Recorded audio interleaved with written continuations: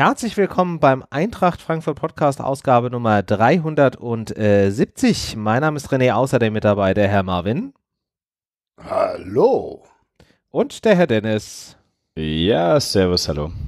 So, wir wollen heute reden über äh, ein bisschen Fußball, über ein bisschen Saisonbilanz. Ein äh, guter alter Bekannte wird wieder äh, zutage geholt und äh, wir machen äh, verurteilt Konkurrenz. Wir reden heute ganz viel über Gerichtsurteile. Mal sehen, wo uns das hinführt. Wir müssen aber erstmal so ein bisschen chronologisch anfangen. Wir haben ja letzte Woche nicht aufgenommen. Das heißt, wir müssen noch zwei Spiele nachbesprechen oder zumindest mal ähm, die Auswirkungen davon besprechen.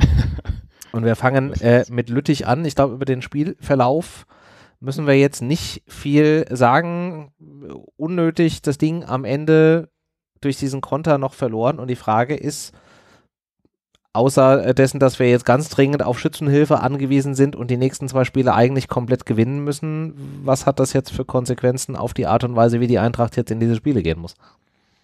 Naja, es ist ganz klar, dass du sehen musst, dass du Arsenal nicht abschenken kannst. Arsenal ist ein extrem genau. wichtiges Spiel jetzt geworden, wo du normalerweise gedacht hast, du fährst dahin und hast eine gute Zeit und schaust mal, ob du einen Punkt mitnimmst. Plötzlich bist du gezwungen, ähm, mindestens ein bis drei Punkte mitzunehmen, weil du ja auch nicht genau weißt, wie die, äh, und auf den anderen Plätzen alles läuft. Also es ist extrem bitter, weil du bestraft wurdest für ein Verhalten, wo du eigentlich gesagt hast, okay, du gehst auf jeden Fall mit einem Punkt heim, die Sache läuft, alles halb so wild.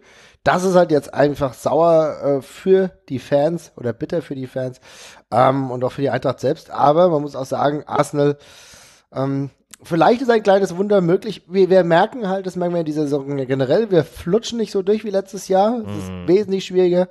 Aber es ist halt noch alles drin und die Eintracht muss halt sehen, dass du zumindest einen Punkt beim FC Arsenal irgendwie holst und dann musst du deutlich gewinnen gegen Gimaraes und dann sehe ich trotzdem noch ein ganz gutes ähm, Silberstreifen am Horizont tatsächlich. Bin, bin ich voll bei dir, Marvin. Was ich so schade finde, ist eigentlich, dass für London eventuell dann das letzte Spiel tatsächlich wieder so ein dämliches Bonusspiel ist, was für uns dann ja wirklich ein Problem ist. Deshalb geht es da eigentlich drum, Idealfall, du äh, holst jetzt hier deine wunderbaren drei Punkte. London muss sich auch nochmal anstrengen im letzten Spiel, um dann äh, qualifiziert zu sein. Alles ist gut. Ähm, ich Na, glaube zumindest, so ist die Konstruktion, oder? Ne, ja, die sind jetzt mit zehn Punkten. Wir und Lüttich haben jeweils sechs Punkte. Sind die jetzt aktuell Gruppenerster? Ja. Die, in einem von den beiden Spielen müssen sie sich auf jeden Fall nochmal anstrengen, weil sie ansonsten, je nachdem, wie halt unsere Spiele und das Spiel von Lüttich laufen, da halt schon noch ein bisschen Gefahr laufen, da hinten rauszufallen. Ähm, also von daher, die werden da halt schon nochmal so ein bisschen, die werden da schon nochmal so ein bisschen draufhalten und wenn ich Spieler und Fan und Verantwortlicher bei Arsenal wäre, dann würde ich tendenziell eher auf das Heimspiel setzen, zumal ich als Heimverein jetzt in der Situation auch noch den Vorteil habe, dass keine lauten Gästefans mitkommen, mhm. weil der Einspruch da ja abgelehnt worden ist. Ähm, ja. Also das spielt denen halt schon alles irgendwie so ein bisschen das ist tatsächlich ja das größere Problem. Das ist ja das, tatsächlich wirklich das viel, viel schwierigere Problem. Und zwar das, ähm, oder schwerwiegendere Problem. Die Eintracht ist eine gute Mannschaft, aber es fehlen ein paar Prozent, wenn die Eintracht nicht die Möglichkeit hat, ihre Fans mitzunehmen. Das ist einfach so. Und das, das ist jetzt kein, Stimmt. das ist nichts Mystisches und darüber brauchen wir jetzt nicht fabulieren. Das ist Fakt, dass die Eintracht ein anderes Spiel macht, wenn die Fans nicht da sind. Und da fehlt auch die letzte Motivation. Äh, vielleicht keine Ahnung, sind vielleicht nur ein Prozent, zwei Prozent. So ist es. Aber die haben auch in Lüttich gefehlt und das kann auch gegen London extrem bitter sein. Das Stadion ist halt groß. Wenn, das äh, ist ja, brauchen wir uns auch nicht, äh, brauchen wir nicht denken, dass es jetzt sofort ausverkauft gewesen wäre, ja. Aber da wären unglaublich viele geile Eintracht-Fans hingefahren, die richtig Bock gehabt haben. Ja, natürlich. Und für uns ist es jetzt die bitterste aller, aller, ja, wie soll ich sagen, Situation, denn es kann sein, dass wir ausscheiden und kein Auswärtsspiel mehr gehabt haben, um uns zu wenigstens gebührend irgendwie von, von diesem internationalen Geschäft auch zu verabschieden. Das ist eine richtige Scheiße, macht mich wütend. Kann auch nicht nachvollziehen, dass man wirklich diese zwei Spiele Sperre hat bestehen lassen. Ähm, ist echt, ist echt bitter, muss ich sagen. Ganz ehrlich, scheiße und für die Eintracht überhaupt kein Vorteil, sondern das wird ein richtig enges Ding. Aber ich, Marvin, ich will auf keinen Fall den Teufel an die Wand malen. Das Spiel ist noch nicht verloren und äh, auch dort äh, keine, keine internationalen Auswärtsspiele mehr in der Saison. Ähm, hoffen wir einfach mal, dass es, dass es irgendwie gut klappt. Und ich denke, dass die Motivation einfach, es ist ja gar nicht schlecht, wenn du auch weißt, welches Spiel enorm wichtig ist. Normalerweise sagt immer, jedes Spiel ist wichtig, du musst da gewinnen, du musst da gewinnen. Die ähm, Bundesliga musst du auch im Blick haben und darfst da jetzt nicht zu viel äh, Körner verpulvern. Es ist alles richtig. Jetzt weißt du aber, das wichtigste Spiel in den nächsten Wochen wird unter anderem das London-Spiel werden, weil du dort eben genau das eben so mal ja, sozusagen diesen, diesen Punkt erreichen kannst. Du selbst hast gepunktet oder sogar dreifach gepunktet im Idealfall. Und London muss sich gegen Lüttich anstrengen im letzten Spiel. Und das ist das, was ja dann für uns dann auch so ein bisschen Ruhe bringt. Eventuell dann auch, oh, da musst du nicht diese, ähm, ja, was weiß ich, so ewig hoch gegen Germarisch gewinnen, sondern dann ist es einfach ein, ein schönes Fußballspiel, wo du dann auch nochmal im Heimstadion da was genießen kannst und eventuell einfach ja, diesen Spirit in die nächste Runde nochmal ziehen kannst. Dementsprechend, ich finde es gut, dass wir uns jetzt so äh, fokussieren können. Ich hoffe, die Mannschaft kann sich so fokussieren. London ist natürlich ein übler Gegner. Hoffen wir, dass einfach auch so ein bisschen diese, diese Hemmung das Pech, und ich muss auch wirklich sagen, in, bei Lüttich, es war ja auch viel Pech dabei. Du hast selbst den Angriff, äh, verziehst das Ding und im Gegenzug kriegst du eigentlich dann das Gegentor. Ist natürlich super bitter gewesen. Das muss aus den Köpfen raus, aber ansonsten, das hättest du natürlich auch in den letzten paar Minuten gewinnen können. Das muss auch mal wieder auf den Tisch gebracht werden. Eigentlich hättest du es vorher schon gewinnen müssen. Also Lüttich war jetzt auch für mich nicht die Übermannschaft. Da hättest du vorher auch, wenn du deine Chancen mal genutzt hättest, das Ding auch einfach sicher machen müssen. Auf jeden Fall. Ja. Deshalb, also ein Punkt ist drin in, ähm, in London, auch wenn es ohne Fans wirklich eine üble Nummer ist. Und dann denke ich, haben wir auch wirklich Chancen, in der nächsten Runde zu stehen. Und dementsprechend, Marvin, toi toi toi an uns alle als äh, treue Auswärtsfahrer auch äh, ein, ein, eine schöne äh, Runde wäre doch danach dann auch nochmal in den, in den K.O.-Spielen, wäre doch auch nochmal schön. Auf jeden Fall. Hoffen wir einfach mal. Drücken wir die Daumen. Ja, vielleicht ist es halt wirklich jetzt so, Marvin hatte ja gesagt, dass du ohne die Fans so ein bisschen die Motivation von außen fehlt. Vielleicht ist das halt jetzt dann einfach zu wissen, dass das dieses K.O.-Spiel ist, dass das jetzt alles oder nichts ist ähm, und dass du quasi für die nicht vorhandenen oder nicht anwesenden Fans in dem Fall spielst. Vielleicht kriegst du damit so ein bisschen diese, diesen Kick da rein, um diese 2% dann da irgendwie wieder wettzumachen. Also unmöglich ist da nichts, aber ein bisschen mehr Konstanz über die kompletten 90 Minuten als in den letzten Spielen ist da schon mehr als notwendig.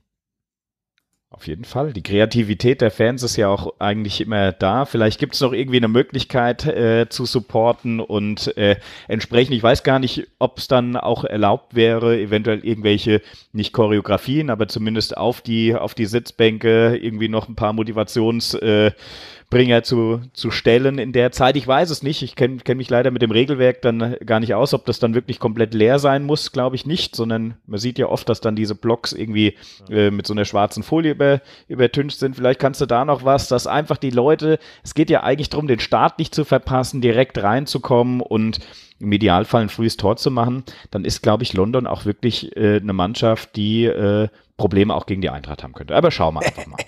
ja, wie optimistisch wir alle sind. Wir schauen einfach mal. Naja, sagen wir es mal so, in der, in der letzten Spielrunde, wo wir dieses Ding gegen Lüttich da blöd verloren haben, hat Arsenal gegen Gemarisch, Guimarisch, whatever, äh, halt auch nur 1-1 gespielt. Also man kann sie halt schon ärgern. Also so ja, ist es nicht. Logo. Ja, ja, ich meine, die erste, die erste Halbzeit war auch gegen London ziemlich gut, also im, bei uns im Ballstadion. Ne? Das hat auch ja. gut funktioniert.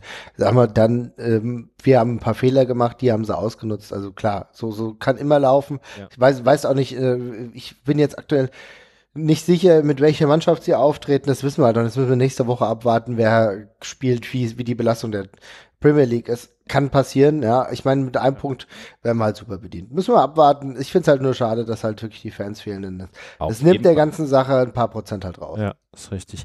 Ähm, aber ein Aufenthaltsverbot für London gibt es Stand jetzt noch nicht, nee, oder? Nee, das ist, nein, das kannst du auch nicht bringen. Also es gibt kein, es kann kein Aufenthaltsverbot für Frankfurter geben in einer Stadt, die so international ist, in denen es 40 Verbindungen pro Tag im äh, Flieg, also Flieg, Flugverbindungen gibt, ja. ähm, wo dann so viele Frankfurter halt auch pro Tag einfach da sind. Also ich glaube, das werden sie nicht durchsetzen. Das Eher so Platzverbote, lokale, lokale Verbote, genau. Aber genau, die sind, genau, ich glaube, genau. die sind auch einfach ein bisschen relaxter. Ich meine, ne, Lüttich ist halt auch ein kleines Pro Problemdorf, muss man auch sagen. Da gab es schon öfter mal Schwierigkeiten. Wir erinnern uns an Hannover, die genau dieses Szenario schon durchlitten hatten, was wir jetzt auch mitgemacht haben. Äh, London ist da ein Stück weit gechillter. Ich glaube, da machen wir uns gar nicht verrückt und ich kann mir auch vorstellen, dass trotzdem ein paar Eintracht-Fans im Stadion sein werden. Ja, und, und auf, Dingen, auf, sich aufmerksam machen werden. Vor allen Dingen halt auch ganz viele, sehr wahrscheinlich dann einfach auch in der Stadt, äh, die ihre Flüge und so weiter gebucht haben und das halt in dem Fall dann halt wirklich durchziehen, wenn da jetzt nicht noch irgendwas äh, um die Ecke kommt. Ja, würde ich ja an der Stelle auch tun. Mhm. Also von daher äh, bleibt es mal abzuwarten. Wir spielen nächste Woche Donnerstag 21 Uhr. Das heißt, wir werden in der Sendung in der kommenden Woche da nochmal ähm, detailliert drauf gucken, auch mit, äh, mit welcher Mannschaft wir erwarten oder mit welcher Aufstellung wir erwarten, dass äh, ja, die Mannschaft da auftritt. Das werden wir uns im nächsten, in der nächsten Woche angucken, wenn dann auch das Bundesligaspiel an dem Wochenende rum ist.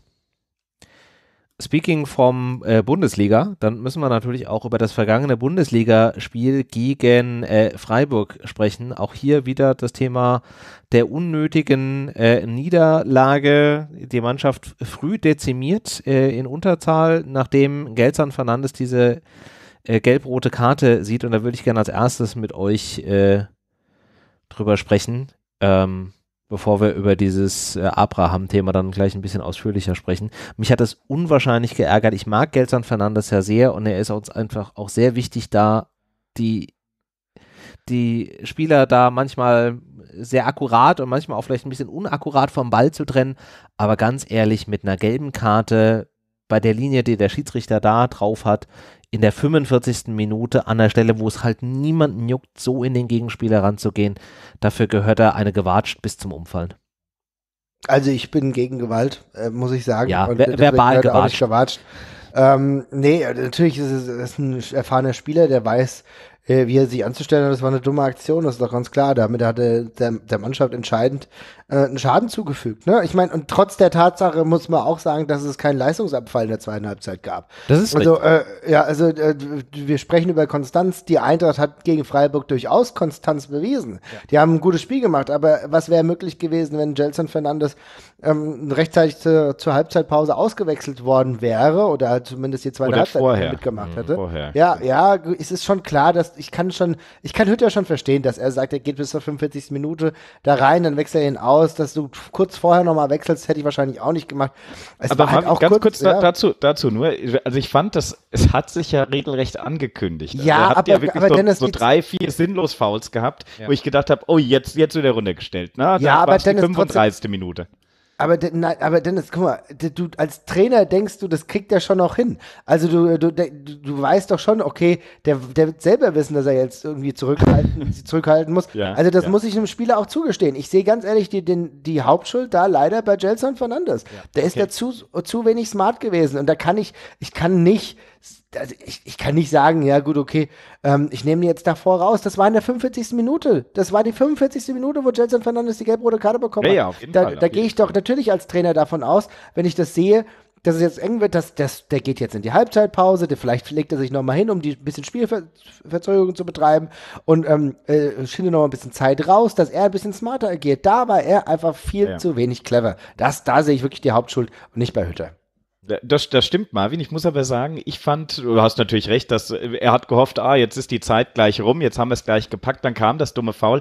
Ich fand aber, ähm, dass die, dass die Zeit tatsächlich, es war auch fand ich zumindest schon ab der 30. Minute, wo ich zumindest als schon gezittert habe und gedacht habe, oh je, ja, was, was ist denn das? Gerade weil der Schiedsrichter auch wieder, hatte mir ja jetzt auch zwei Spiele mal nicht so das äh, große Glück gehabt, fand ich auch, war nicht so, nicht so feinfühlig, auch in den Situationen. Da war natürlich, war viel Gezeter, viel A und du weißt ja auch, ich weiß, äh, wie heißt der denn? Brüch? Ist, heißt der mhm. Brüch? Ich weiß jetzt ja. gar nicht.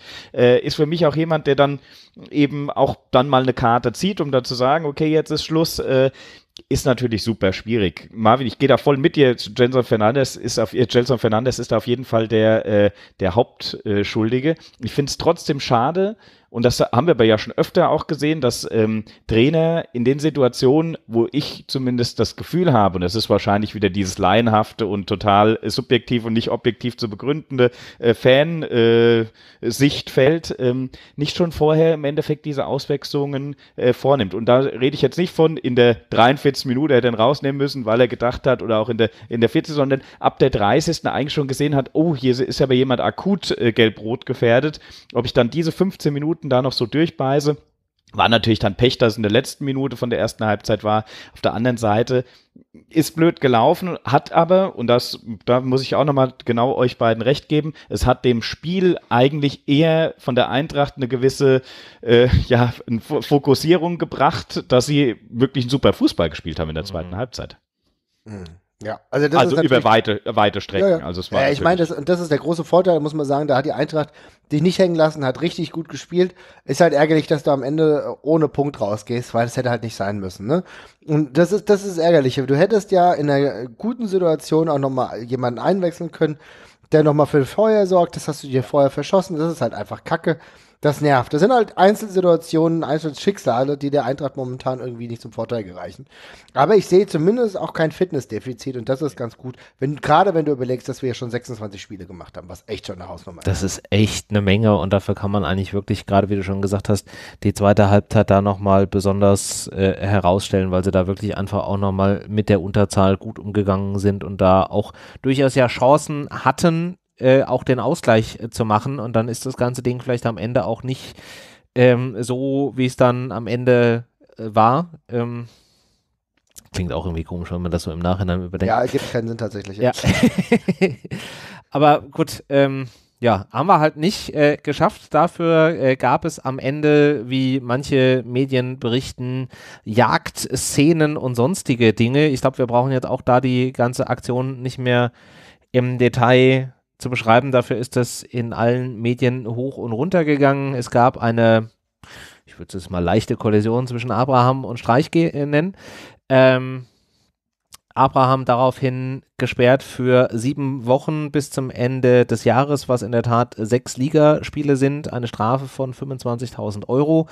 Die Eintracht hat äh, Einspruch äh, dagegen eingelegt, was heute dann auch ähm, verhandelt wurde ich würde jetzt erstmal gerne eure Meinung dazu wissen, wie ihr diesen Einspruch äh, seht, weil da ja auch in vielen Stellen immer davon gesprochen wurde, dass das keine gute Idee ist, dass das ein Image-Schaden für die Eintracht äh, ist. Was ist denn eure Meinung dazu?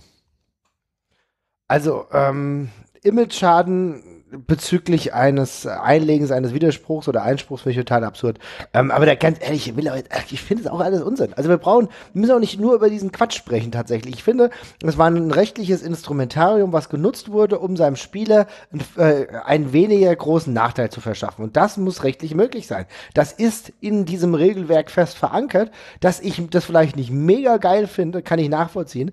Dass es aber rechtlich möglich ist, weil, stell dir mal vor, und bei uns verletzen sich die ganzen äh, Innenverteidiger. Und dann bist du in der Scheißsituation, weil dir alle Innenverteidiger ausfallen und du jetzt noch mit einem Mittelfeldspieler im Def äh, in der Innenverteidigung spielen musst. Und dann sagst du, ja gut, wir hätten jetzt natürlich auch Einspruch ein, ähm, einlegen können, dann hätten wir den Abraham jetzt schon zurück, aber na gut, so ist es halt.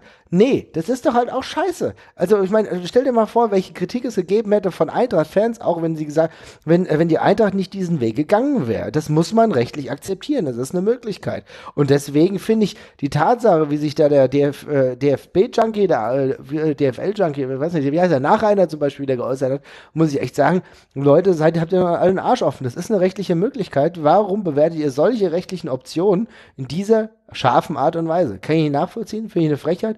Und es gehört zum DFB-Sportgericht, dass man auch sowas nutzen kann. Und dann haben die DFB-Fuzis auch mal ihre Klappe zu halten. Die müssen nicht alles gut finden, aber so, so öffentliche Bewertung finde ich echt problematisch tatsächlich. Also das ist mein Take dazu. Ja, Denn, guter ja, Punkt, auf jeden Fall. Ich, hätte, ich, ganz ehrlich, ich hätte es, ich wäre es auch anders angegangen. Mir wäre es auch lieber gewesen, hätte Abraham sich nochmal nicht nur bei Social Media hingestellt, sondern hätte gleichzeitig auch ein Statement rausgehauen, hätte, äh, also nicht nur bei Social Media ein Statement rausgehauen, sondern hätte mal was nochmal gesagt, hätte sich nochmal vor den Kameras noch mal entschuldigt, dann wäre die Sache noch ein bisschen relaxer gewesen. Hat sowas äh, auch, sowas birgt ja auch immer eine Chance, dass du die, die Flucht nach vorne antrittst und dich entschuldigst und ähm, das nicht nur bei Social Media machst. Ich weiß, das ist okay, Social Media nutzen halt viele Leute, das ist auch cool, nutze ich ja selbst. Aber das persönliche gesprochene Wort, was ich dann höre, hat nochmal ein anderes Gewicht. Und ich glaube, hättest du anders auch nochmal wirken können. Das haben sie verpasst, das muss ich ihnen ankreiden. Aber es ist jetzt halt am Ende auch nicht so dramatisch. Und das Schlimmste ist, ist mir jetzt halt mega auf den Sack, dass jeder ein absolutes Drama aus dieser Aktion macht. Das ist jetzt, das ist scheiße gelaufen und er wurde zu Recht dafür bestraft. Und er hat eine ordentliche Strafe bekommen. Alle Seiten haben sich ausgesprochen. Jeder ist cool damit. Das hast du heute auch gemerkt bei der Verhandlung. Es ist überhaupt kein Stress zwischen den Spielern. Ähm, äh, Streich ist, hat das Ding auch abgehakt. Dann muss ich auch mal die Kirche im Dorf lassen. Ja, also ich meine, wenn wir beide uns uns zanken, das ist ein, schwieriger, äh, ist ein schwieriger Vergleich, das trägt nicht hundertprozentig. Aber wenn wir beide uns zanken, dann keppeln wir uns, aber keiner stellt eine Strafanzeige und jeder sagt, wir vertragen uns alles cool, ja, warum muss ich denn, dann muss ich doch keine fünf Seiten Zeitungsartikel darüber machen, wie schlimm das war. So. Also es ist doch, das ist Kacke gewesen und das ist eine richtig, er braucht eine richtige Strafe, kann ich sogar nachvollziehen, weil das machst du halt einfach nicht gegen Trainer. Es ist auch cool, das machst du generell nicht und auch nicht gegen Trainer. Aber man darf die ja, Als Vorbild halt auch auf die Amateurplätze, ne? Das ist ja da immer Ja, so aber es ist auch, aber, nur, aber ganz ehrlich, das sind auch keine Roboter. Nur weil eine Abraham eskaliert. Also ganz ehrlich, wir haben auch nicht, wir haben auch nicht 10.000 Kopfstöße danach gesehen, nachdem sie dann Materazzi umgehauen hat. Also das ist keine, das ist keine zwingende Beziehung, die hier hergestellt wird. Das kann passieren, aber es wurde doch penalisiert. Es ist ja, es gab ja nicht, es, es gab sowohl eine rote Karte sofort danach, als auch eine ganz klare Rüge und es gab sogar eine öffentliche Empörung, wie, wie man es auch immer sagen will, und es hat eine Strafe nach sich gezogen, dass er jetzt erstmal nicht spielen kann. Da muss ich die Kirche dann auch im Dorf lassen. Und und wenn ich dann anfange von wegen, oh ja, Abraham kein Unbekannter. Leute, das ist halt ein Innenverteidiger, verdammte Scheiße. Bei einem Mittelfeld, Hiopai, passiert es halt nicht dementsprechend, aber es ist ein Innenverteidiger, da passiert halt was. Wir haben all, das sind alles keine Lämmer. Warum wird nicht die ganze Zeit über Leute wie, was weiß ich, Ramos gesprochen? Das ist auch der größte Drecksack überhaupt, ja. Der kommt halt ein bisschen besser weg, wenn er ein paar mehr Titel gewonnen hat. Aber darüber wird nicht gesprochen. So, also, das nervt mich alles ein bisschen. Man muss die Kirche im Dorf lassen. Er wurde bestraft, er hat sich entschuldigt. Aus. Ja, das war auch so ein Punkt, der mich in dieser, in dieser ganzen Kommunikation gestört hat, dass da direkt irgendwie von Wiederholungstäter und so weiter die Rede war. Wie du schon sagst, der hat im Ligabetrieb, er ist Innenverteidiger, der hat in 142 Spielen in der Bundesliga drei rote Karten gesehen. Das ist pro Spielzeit eine. Also das ist nix. Also das ist da jetzt von Wiederholungstäter und da jemanden so an den Pranger zu stellen, finde ich schon so ein bisschen ja, ja, es ist nichts, nix. Also ich meine, das ist eine, rot, eine rote Karte pro Spiel, ähm, Saison ist schon blöd tatsächlich, aber es ist halt blöd und das ist genau das ist. Und man darf auch nicht vernachlässigen, dass es jetzt eine andere Komponente hat, denn die, ein, die Komponente, die es auch noch hat, der hat sich wahrscheinlich jetzt echt aus dem Team gekegelt, weil du wirst bald Leute haben, die dann denken, naja, ich spiele jetzt, ich habe jetzt die Möglichkeit, wie Touré, wie ein Dicker. Ja, denkst du, die, die rotieren noch mal so einfach aus? Das glaube ich nicht. Am Ende hat der, äh, Abraham sich einen riesen Bärendienst geleistet und dass er plötzlich aus der Mannschaft rotiert ist, das kann alles passieren. Also auch so, sowas muss man halt mitdenken, ja. Ich, ich finde, dass wir müssen auch immer wieder, wir müssen immer wieder äh, die Kirche im Dorf lassen, ne? weil das, das, das hat er auch nicht, das hat er auch nicht gemacht, um äh, Leuten zu schaden und so weiter. Nee, also nicht. Das ist eine, das ist eine Scheißsituation gewesen, die mega dumm war. Aber das war eine Situation innerhalb eines Spiels, wo jeder auch heiß ist. Und jeder ist unglaubliche, durch. unglaubliche Hektik, genau. So ja, ist es. Und der hat der Eintracht ja überhaupt einen großen Fehler damit, äh, also keinen Dienst damit geleistet, weil am Ende wir hätten noch zwei, die zwei Minuten echt noch dafür gebrauchen können, vielleicht doch noch einen Ausgleich zu machen. So. Ja, also, ich sagen, also im Zweifelsfall hat er dem, der Mannschaft in dem Spiel jetzt mehr geschadet als geholfen, weil wie du schon sagst, man hätte ja nochmal mit einem schnellen Einwurf und vielleicht irgendwie in einer gefährlichen Situation auch nochmal den Ausgleich machen können und dann wäre das halt wieder ganz anders da gewesen. Ähm, ja, also schwierig. Dennis, was ist denn deine Meinung dazu? Nein, also ich muss wirklich sagen, ich gehe voll und ganz mit Marvin mit. Das ist äh, für mich absolut absurd, wenn du was angreidest, was du einfach so vorgesehen hast, dass auch jemand sich verteidigen kann und sagt, okay, Leute, es ist ein bisschen, mir kam es auch im ersten Moment, habe ich gesagt, was, sieben Wochen, was ist denn mit denen los? Ähm, auf der anderen Seite, es hat halt eben momentan, es war sehr in den Medien, es ist sehr, sehr hochgebauscht worden. Es ist natürlich dann auch schwierig für die, für die Entscheidungsträger, da die Eier zu haben, nee, äh, äh, wisst ihr was, wir haben jetzt sieben Wochen gesagt, ach, das war vielleicht doch ein bisschen hoch, wir machen fünf draus. Dadurch war das für mich klar, dass da nichts bei rumkommt, sondern sind wir jetzt froh, dass da nicht die Strafe noch erhöht wurde. Ich habe heute irgendwas gelesen gehabt, dass dann ähm, der Vorsitzende hat noch gefordert, jetzt sollen es acht Spiele werden, um auch ja. dieser, äh, diesem Charakter gerecht zu werden, dass ähm, wenn du da einen Einspruch machst und eigentlich gut bedient oder gut weggekommen bist, sollst du damit zufrieden sein und nicht noch ähm, ja dein Rechtsmittel einlegen, sondern da kann schnell auch mal die Strafe höher gehen. Finde ich ein absolutes Unding. Da gehe ich voll mit Marvin. Ähm, Und auch wahrscheinlich, René, du wahrscheinlich genau dasselbe. Es ist wahrscheinlich ein Tenor, den wir hier, den wir hier haben. Ähm, das Problem für mich ist eigentlich äh, auch ein anderer äh, Punkt.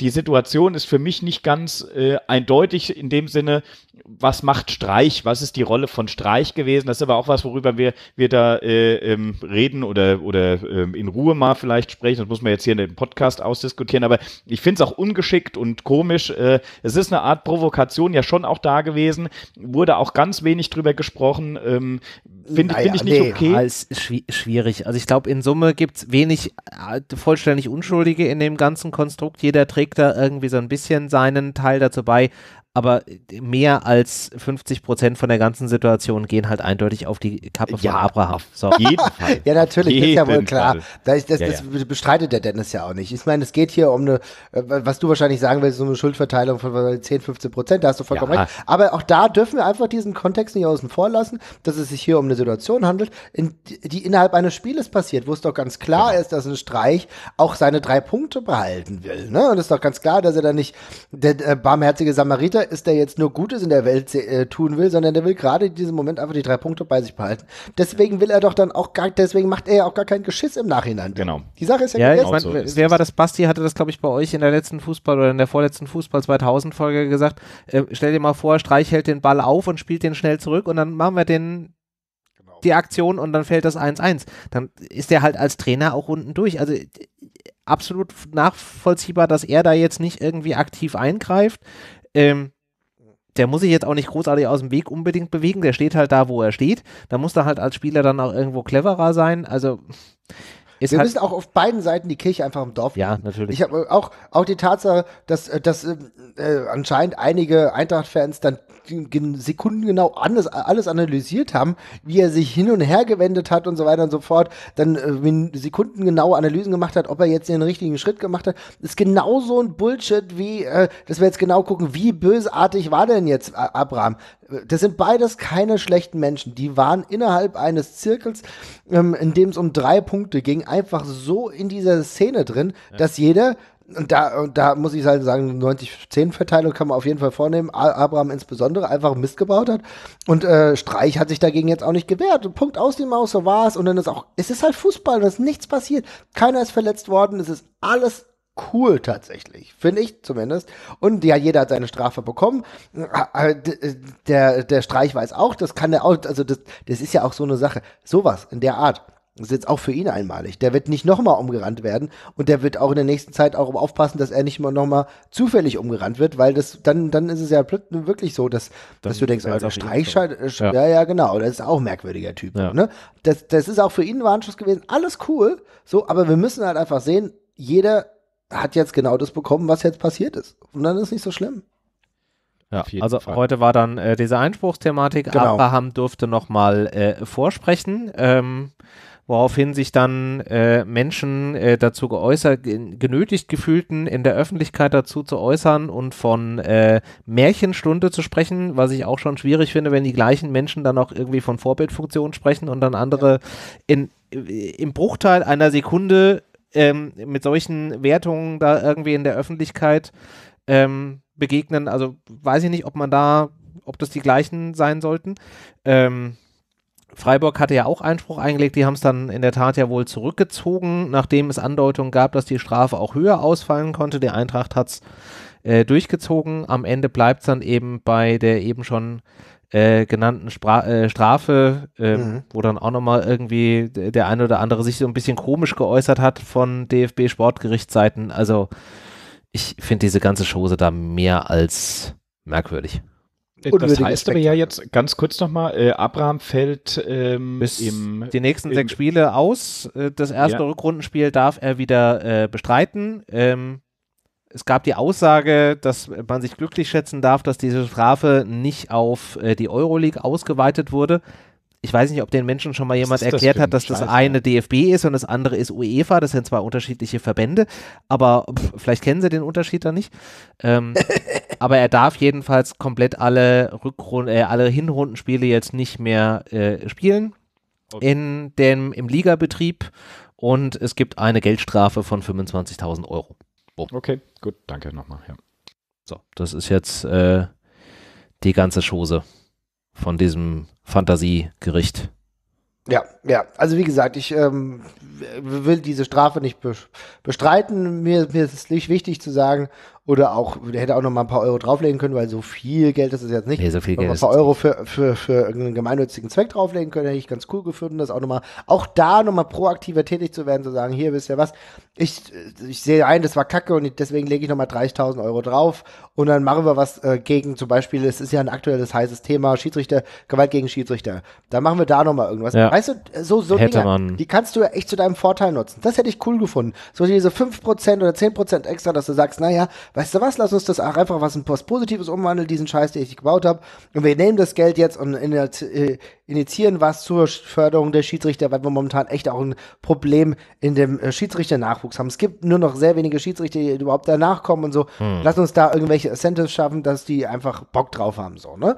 Hättest du alles machen können, finde ich ein bisschen schade, so, ne? Aber dass dann irgendwelche Hyopies sich dann dazu äußern und meinen, dass sie die Strafe zu niedrig waren, die irgendwie Teil des DFB-Kontrollausschusses sind, da denke ich mir, ey, nee, aber ganz ehrlich, dass der DFB ist ein echt, echt kranker Haufen voll dämlichen Freaks, muss ich sagen. Ich muss mich hier echt gerade zügeln. ja, weil ich finde, weil ich finde echt die Wortwahl echt, finde ich echt krass daneben, ey.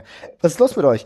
Äh, akzeptiert das doch einfach. Akzeptiert das doch und dass es eine, eine, rechtliche Möglichkeit ist und akzeptiert das doch, dass natürlich immer mit harten Bandagen kämpft wird. Und was seid ihr eigentlich für Clowns, dass ihr irgendwie denkt, solche halbgaren Geschichten überhaupt zu kommentieren zu müssen? Ich meine, da war die Sache noch nicht mal am Ende.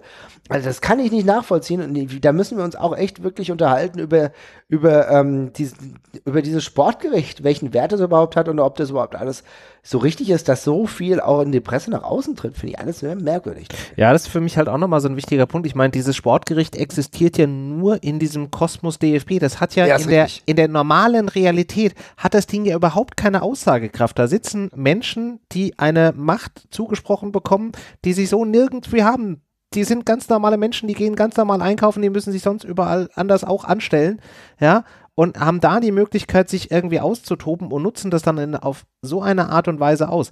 Also nochmal, ich kann mit dieser Strafe, ich kann diese Strafe akzeptieren, wenn die Rahmenbedingungen sinnvoll sind, wenn ich das Gefühl habe, dass da Menschen sind, die alles in Betracht ziehen, die eine faire Entscheidung treffen, die, wenn sie von Respekt und Wertschätzung und Vorbild sprechen, das allen Beteiligten in diesem Prozess irgendwie äh, gegenüberkommen lassen. Aber wenn ich das Gefühl habe, dass da einfach Leute sitzen, die willkürlich aufgrund von gerade irgendwie eingewachsenem Zehennagel da Entscheidungen treffen, dann finde ich das mehr als absurd. Ja, ich, stimme ich dir vollkommen zu. Also kann man auch nicht, kann man nicht besser sagen, das ist vollkommen absurd und da müssen wir echt die Kirche auch mal im Dorf lassen oder müssen wirklich überlegen, welchen Wert das Ganze überhaupt hat. Ne? Ja. Also, das ist äh, eine ganz, eine viel größere Diskussion, die wir jetzt hier an dieser Stelle äh, nicht führen müssen. Und kurzer Spoiler, ähm, über den einen oder anderen werden wir in einer äh, vielleicht gleich folgenden Kategorie dann auch nochmal sprechen. Kann, kann gut sein, auf jeden Fall. genau. Aber naja, also es ist, äh, ja, wie gesagt, es ist gut, dass wir drüber reden, denn das, das ist schon alles sehr, sehr merkwürdig am meisten nervt, dass wir die drei Punkte verloren haben, beziehungsweise dass wir gegen Freiburg nicht gepunktet haben. Das nervt mich am meisten immer noch an der ganzen Thematik, äh, ja. ganzen Spieltag. Das ist alles doch so ein Rattenschwanz, der mit drin, hinten anhing, aber das ist natürlich so ein Spiel, ihr habt es doch gerade schon gesagt, das war völlig unnötig, weil du im Endeffekt wirklich ein ordentliches Spiel, auch in Unterzahl, dann diese blöde Situation vorher schon mit Fernandes, das ist einfach ja. ein gebrauchter Tag. Und dementsprechend lass, lass es uns unter gebrauchter Tag. Abraham wird sich auch denken, verdammter Mist, warum bin ich da morgens aufgestanden? Äh, ist einfach blöd gelaufen. Auf der anderen Seite, ist, äh, ja, ist vielleicht gelaufen, ist er dann, äh, ja, eben für die Euroleague-Spiele äh, muss er dann halt umso mehr Gas geben, wenn er, wenn er gesetzt ist und wenn er gestellt wird. Ich denke schon, dass er da auch seine Spielzeit Zeit vielleicht noch bekommt. Er wird uns sicherlich in der zweiten oder in der, in der Rückrunde noch sehr, sehr viel weiterhelfen, weil es wird eine lange Saison. Ähm, Innenverteidiger sind bei der Eintracht seltsamerweise, egal wie viel wir haben, immer rar gesät. Ja, äh, dementsprechend gucken wir einfach. Aber drücken wir die Daumen, dass das jetzt alles ein bisschen abkühlt, auch von den Emotionen, auch medial. Das geht einem ja nur noch auf die, auf die Eier wenn man ja. das mhm. so sagen darf. Dann lass uns doch vielleicht mal in Gänze gerade noch so einen kurzen Blick auf die äh, Saison, wie sie jetzt gerade eben dasteht, werfen. Das ist jetzt so ein knappes Drittel der Saison rum. Die Eintracht steht jetzt mit äh, 17 Punkten da, was jetzt ein bisschen schlechter ist als äh, die letzte Saison, wo wir zum selben Zeitpunkt 20 Punkte ähm, hatten. Das ist jetzt wahrscheinlich exakt das eine Spiel, was uns da jetzt so ein bisschen äh, fehlt. Ähm, aber so in Summe muss man sagen, wenn man mal so auf, die letzten paar Jahre guckt, ist da schon eine gewisse Weiterentwicklung und Konstanz da. Mich würde jetzt mal so interessieren von euch, ähm, wer ist denn für euch bislang in diesem Drittel äh, Gewinner, Verlierer und wer ist vielleicht so ein bisschen die Überraschung? Ja, mit was am Anfang? Gewinner? Ja, fangen wir mit dem Gewinner an, ja. Ja, also Paciencia, Gonzalo Paciencia ist definitiv ein Spieler, der sich bislang sehr, sehr gut durchgesetzt hat, der enorm gut eigentlich in diese Runde gefunden hat, äh, viele Tore geschossen hat, zu Recht in der Nationalmannschaft äh, Portugals spielt, da auch schon wieder genetzt hat. Also ich finde, das ist einer der Gewinner. Und als Nummer zwei würde ich wahrscheinlich ähm, ein bisschen auch Renault, ja, ein bisschen, oder? ja, Renault theoretisch kann man auch sagen, ne, weil äh, Renault ja auf jeden Fall, wir hatten alle so ein bisschen oh, Bedenken, so Kacke, kann er die Lücke Genau. jetzt füllen, die, ähm, die, die Kevin Trapp irgendwie jetzt auch gerissen hat, ganz klar mit seinem Ausfall. Ich finde, das hat er extrem gut gemacht. Und dann gibt es für mich ehrlich gesagt noch wie jemanden wie Sebastian Rode, von dem wir auch nicht wussten, ob er genau diese herausragende Leistung der letzten Rückrunde so bestätigen kann, dass wir sagen, wir sind immer noch froh, dass er da ist. Und boy, oh boy, ich bin sehr froh, dass er da ist. Nee, die drei gehe ich voll mit. Also, wie gesagt, für mich ist definitiv, du hast eben schön, schön nochmal ausgeführt, Renault war für mich einfach, äh, ich, vorher habe ich Pickel bekommen, wenn ich nur gehört habe, er soll äh, ein paar Spiele in der Startelf äh, anfangen. Jetzt ist wirklich was, er hat sich ein Standing erarbeitet, er hat wirklich ordentliche Leistung gezeigt. Das ist ein stabiler, stabiler Background und definitiv jemand, der äh, durch die Leistung auch definitiv momentan sich das verdient hat, dass er die aktuelle Nummer eins in Anführungszeichen ist. Ähm, Trapp wird da sicherlich äh, auch ihm dann wieder gut Zunder geben, wenn er zurückkommt. Aber es ist jetzt nichts, dass wir sagen müssen, oh mein Gott, äh, wir spielen fast ohne Torwart. Und äh, das war ja in den Testspielen, und Marvin, das ist ja genau das, was du auch schon gesagt hast, das war ja teilweise wirklich ein Albtraum und wie, wie unglücklich diese Spiele einfach gelaufen sind. Und jetzt sehen wir, warum der Verein überhaupt den Spieler damals verpflichtet hat, warum auch das Vertrauen dann doch geschenkt wurde. Sollte er da auch eventuell, damals haben wir auch schon drüber gesprochen, mit Esser, eventuell da ja nochmal ein Wechsel und so weiter,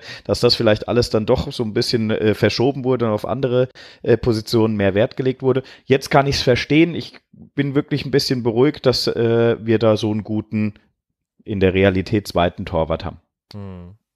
Ich habe in der Tat auch die drei, die Marvin genannt hat, auch auf der, auf der Liste. Ich finde, Paciencia profitiert enorm davon. Zum einen, dass Haller, Jovic, Rebic weg sind, weil er jetzt einfach die Chance hat, da sich zu zeigen, auch in Kombination jetzt mit Silva und Dost, wo er einfach ähm, Partner da vorne hat, mit denen er sich versteht, die er kennt, mit denen er sich sprachlich auch nochmal anders da austauschen kann und jetzt so ein bisschen auch, ja, einfach davon profitiert, ins Spiel findet und einfach jetzt, habe ich zumindest das Gefühl, richtig bei der, ähm, bei der Eintracht angekommen ist. Renault hatte ich auch, wie Dennis sagte, am Anfang so ein bisschen sehr viel Bedenken und hatte mir so ein bisschen, ähm, hatte so ein bisschen Schiss, aber er macht es extrem gut. Ich bin mir aber auch ziemlich sicher, dass wenn Trapp da ist, dann gibt es ja keine Diskussion, wer dann da im Tor steht. Und bei Rode haben wir einfach sehr viel auch gemerkt, wenn da, wenn er im Spiel fehlt, dann geht unser Mittelfeld da so ein bisschen unter. Das muss man leider auch sagen. Ja. Auf jeden Fall, obwohl so wirklich auch ein ordentliche, also nicht wirklich als Gewinner zu sehen, aber es ist auf jeden Fall ein ordentlicher Backup oder äh, auch ein Spieler, den man sehr gut an die Startelf stellen, stellen kann. Und wer hier bei der ganzen Sache äh, auf keinen Fall vergessen werden kann, was Kostic schon wieder für ein Pensum abgeleistet hat, was er für eine, für eine Leistung und für eine Präsenz auf den Platz bringt und da jede Woche Vollgas und auch Gefahr. Mittlerweile ist er ja wirklich auch ein Spieler, der, na, ich sag mal, äh, schon den Zug auch zum Tor ein bisschen äh, hat. Das ist, gefällt mir sehr gut. Also, das ist auch für mich ein Spieler, Kategorie Gewinner ist da ein bisschen schwierig. Es ist einfach jemand, der wieder die Leistung bestätigt hat. Das ist wirklich super. Bei Paciencia, der hat wirklich nochmal einen weiteren Schritt nach vorne gemacht. Renault, wie, du, wie er auch sagt, Rode auch, der jetzt wirklich in der Mannschaft wieder voll angekommen ist. Dementsprechend sind einige dabei. Und auch wenn diese 17 Punkte vielleicht etwas ähm, schlechter sind als in der Vorsaison, äh, sind äh, Wir haben natürlich hier auch Punkte drin, wie zum Beispiel gegen die Bayern, da haben wir vielleicht, die hätten wir vielleicht vorher nicht eingerechnet. Auf der anderen Seite haben wir an der einen oder anderen Stelle mal was liegen lassen. Es ist einfach so, die Abrechnung wird am Ende gemacht. Wir gucken mal, wie es weitergeht und ja, wenn wir, wenn wir weiterhin mit der Mannschaft so einigermaßen arbeiten können, denke ich, ist da schon noch was drin. Mhm. Gibt es auch aus eurer Sicht einen Verlierer in dem Konstrukt? Ja, also ja, leider. Also es gibt logischerweise, wo es große Gewinner gibt und auch Überraschungen, wie also Überraschungen Touré beispielsweise, der sich hier wirklich gut in diese Mannschaft überhaupt gespielt hat, ja. was wir nicht gedacht hätten tatsächlich. Nee, Oder zumindest ich nicht gedacht hätte. Nee. Ähm, uh, es gibt ja natürlich auch Verlierer und leider sehe ich halt so mit Johnny de Guzman halt einen Spieler, den ich nicht oh, mehr großartig aber das ist ja gar nicht böse gemeint. Aber der, der, ich meine, du merkst halt, dass die Leistungsdichte innerhalb dieses Mittelfelds extrem groß geworden ist, ja. Und du hast auch so Leute wie So, die das Potenzial haben, noch, noch viel besser zu werden. Genau. Und dementsprechend gibt es halt jemanden wie Johnny de Guzman, der ein geiler Typ ist und der auch, glaube ich, ähm, der Mannschaft grundsätzlich gut tut, aber der wird halt nicht mehr auf großartig viel Zeit kommen. Und wir müssen auch noch sagen, auch ein ganz, ganz großer Verlierer, was ich echt schade finde, es ist Lukas Toro. Ja, Lukas Toro. auch auf der Liste. Ich halt gedacht, Mann, Mann, Mann, Spieler mit einem Riesenpotenzial, der Junge sieht gerade überhaupt kein Land. Ja, das tut mir auch extrem weh. Den habe ich in der Tat auch hier ähm, mit als erstes drin stehen.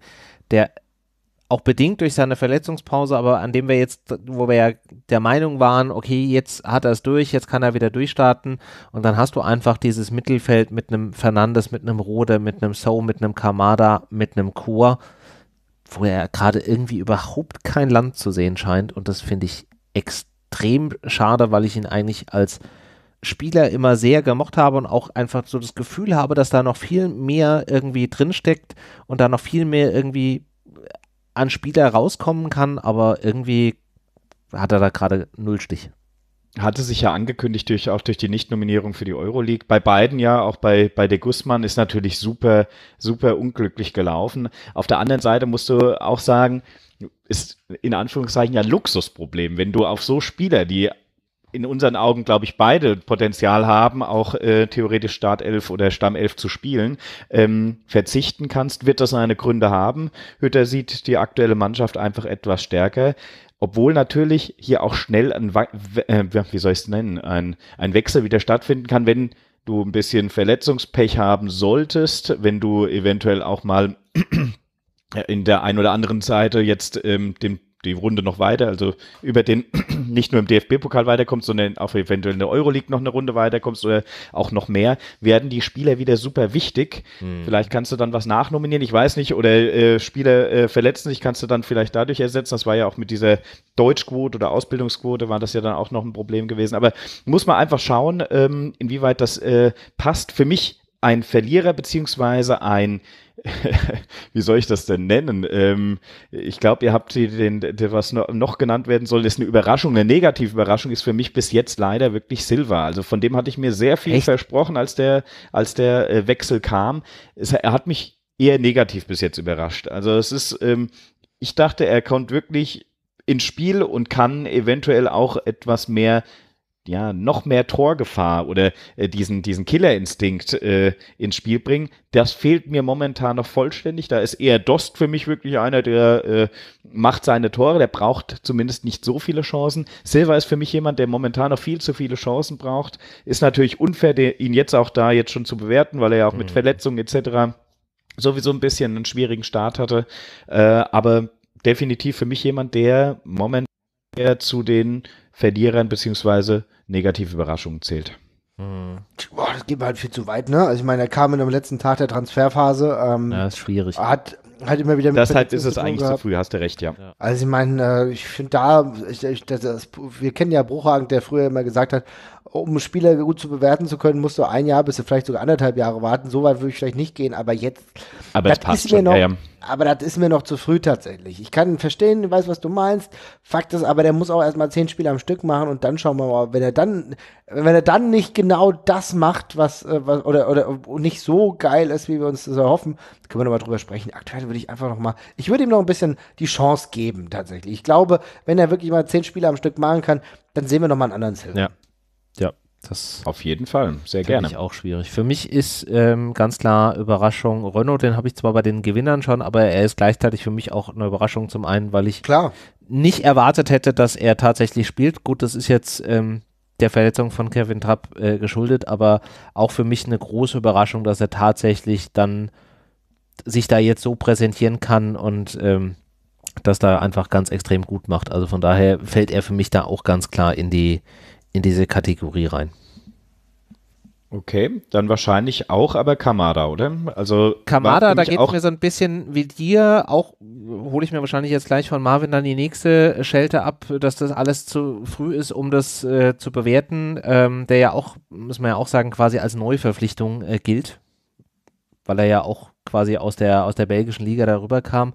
Ähm, ich bin mit Kamada, mit dem Struggle ich gerade so ein bisschen, weil von der, von dem, von der Erwartungshaltung, die da aufgebaut worden ist, ich, ist er für mich gerade so ein bisschen, also erwartungstechnisch ist er so ein bisschen wie Gacinovic am Anfang. Ich finde ihn spielerisch total toll und er macht extrem viel für die Mannschaft. Die Vorlagen sind grandios. Aber was mir halt einfach fehlt, ist irgendwie mal so ein, so ein Abschuss. Der Kerl hätte, wenn man mal so diese ganzen Expected Goals zusammenzählt, hätte der schon fünf Buden machen müssen. Der hat keine einzige gemacht. Also da an der Stelle ist er für mich so ein bisschen so, mh, hm, da hätte ich gern, dass er dran arbeitet. Deswegen ist er für mich dann vielleicht auch so ein bisschen negative Überraschung, einfach weil meine Erwartungshaltung gewesen wäre, er ist da stärker im Abschluss. Vielleicht kommt das noch. Who knows? Okay. Ja, mich hat es überrascht, dass er so, ähm, ja, eigentlich den äh, ich dachte ja, Gasinovic kriegt wieder ein bisschen mehr, mehr Zeit auf der, auf der Position. Und dass Kamada ihn ähm, ja, eigentlich da so extrem dominiert, zeigt eigentlich nur, dass Gasinovic tatsächlich ein Problem auch hat. Äh, äh, denn ja, ich sag mal, das ist ja wirklich hier nichts mit Pari, sondern eigentlich, wenn Kamada fit ist und Kamada äh, ja nicht gerade erst vor 500.000 Kilometer geflogen ist, dann spielt eigentlich ein Kamada in der Startelf. Ja, und selbst das ist für mich ein Gacinovic da nicht sehen, dann spielt er ein So auf der Position, aber ganz ehrlich, Gacinovic, der ist äh, abgeschrieben für mich.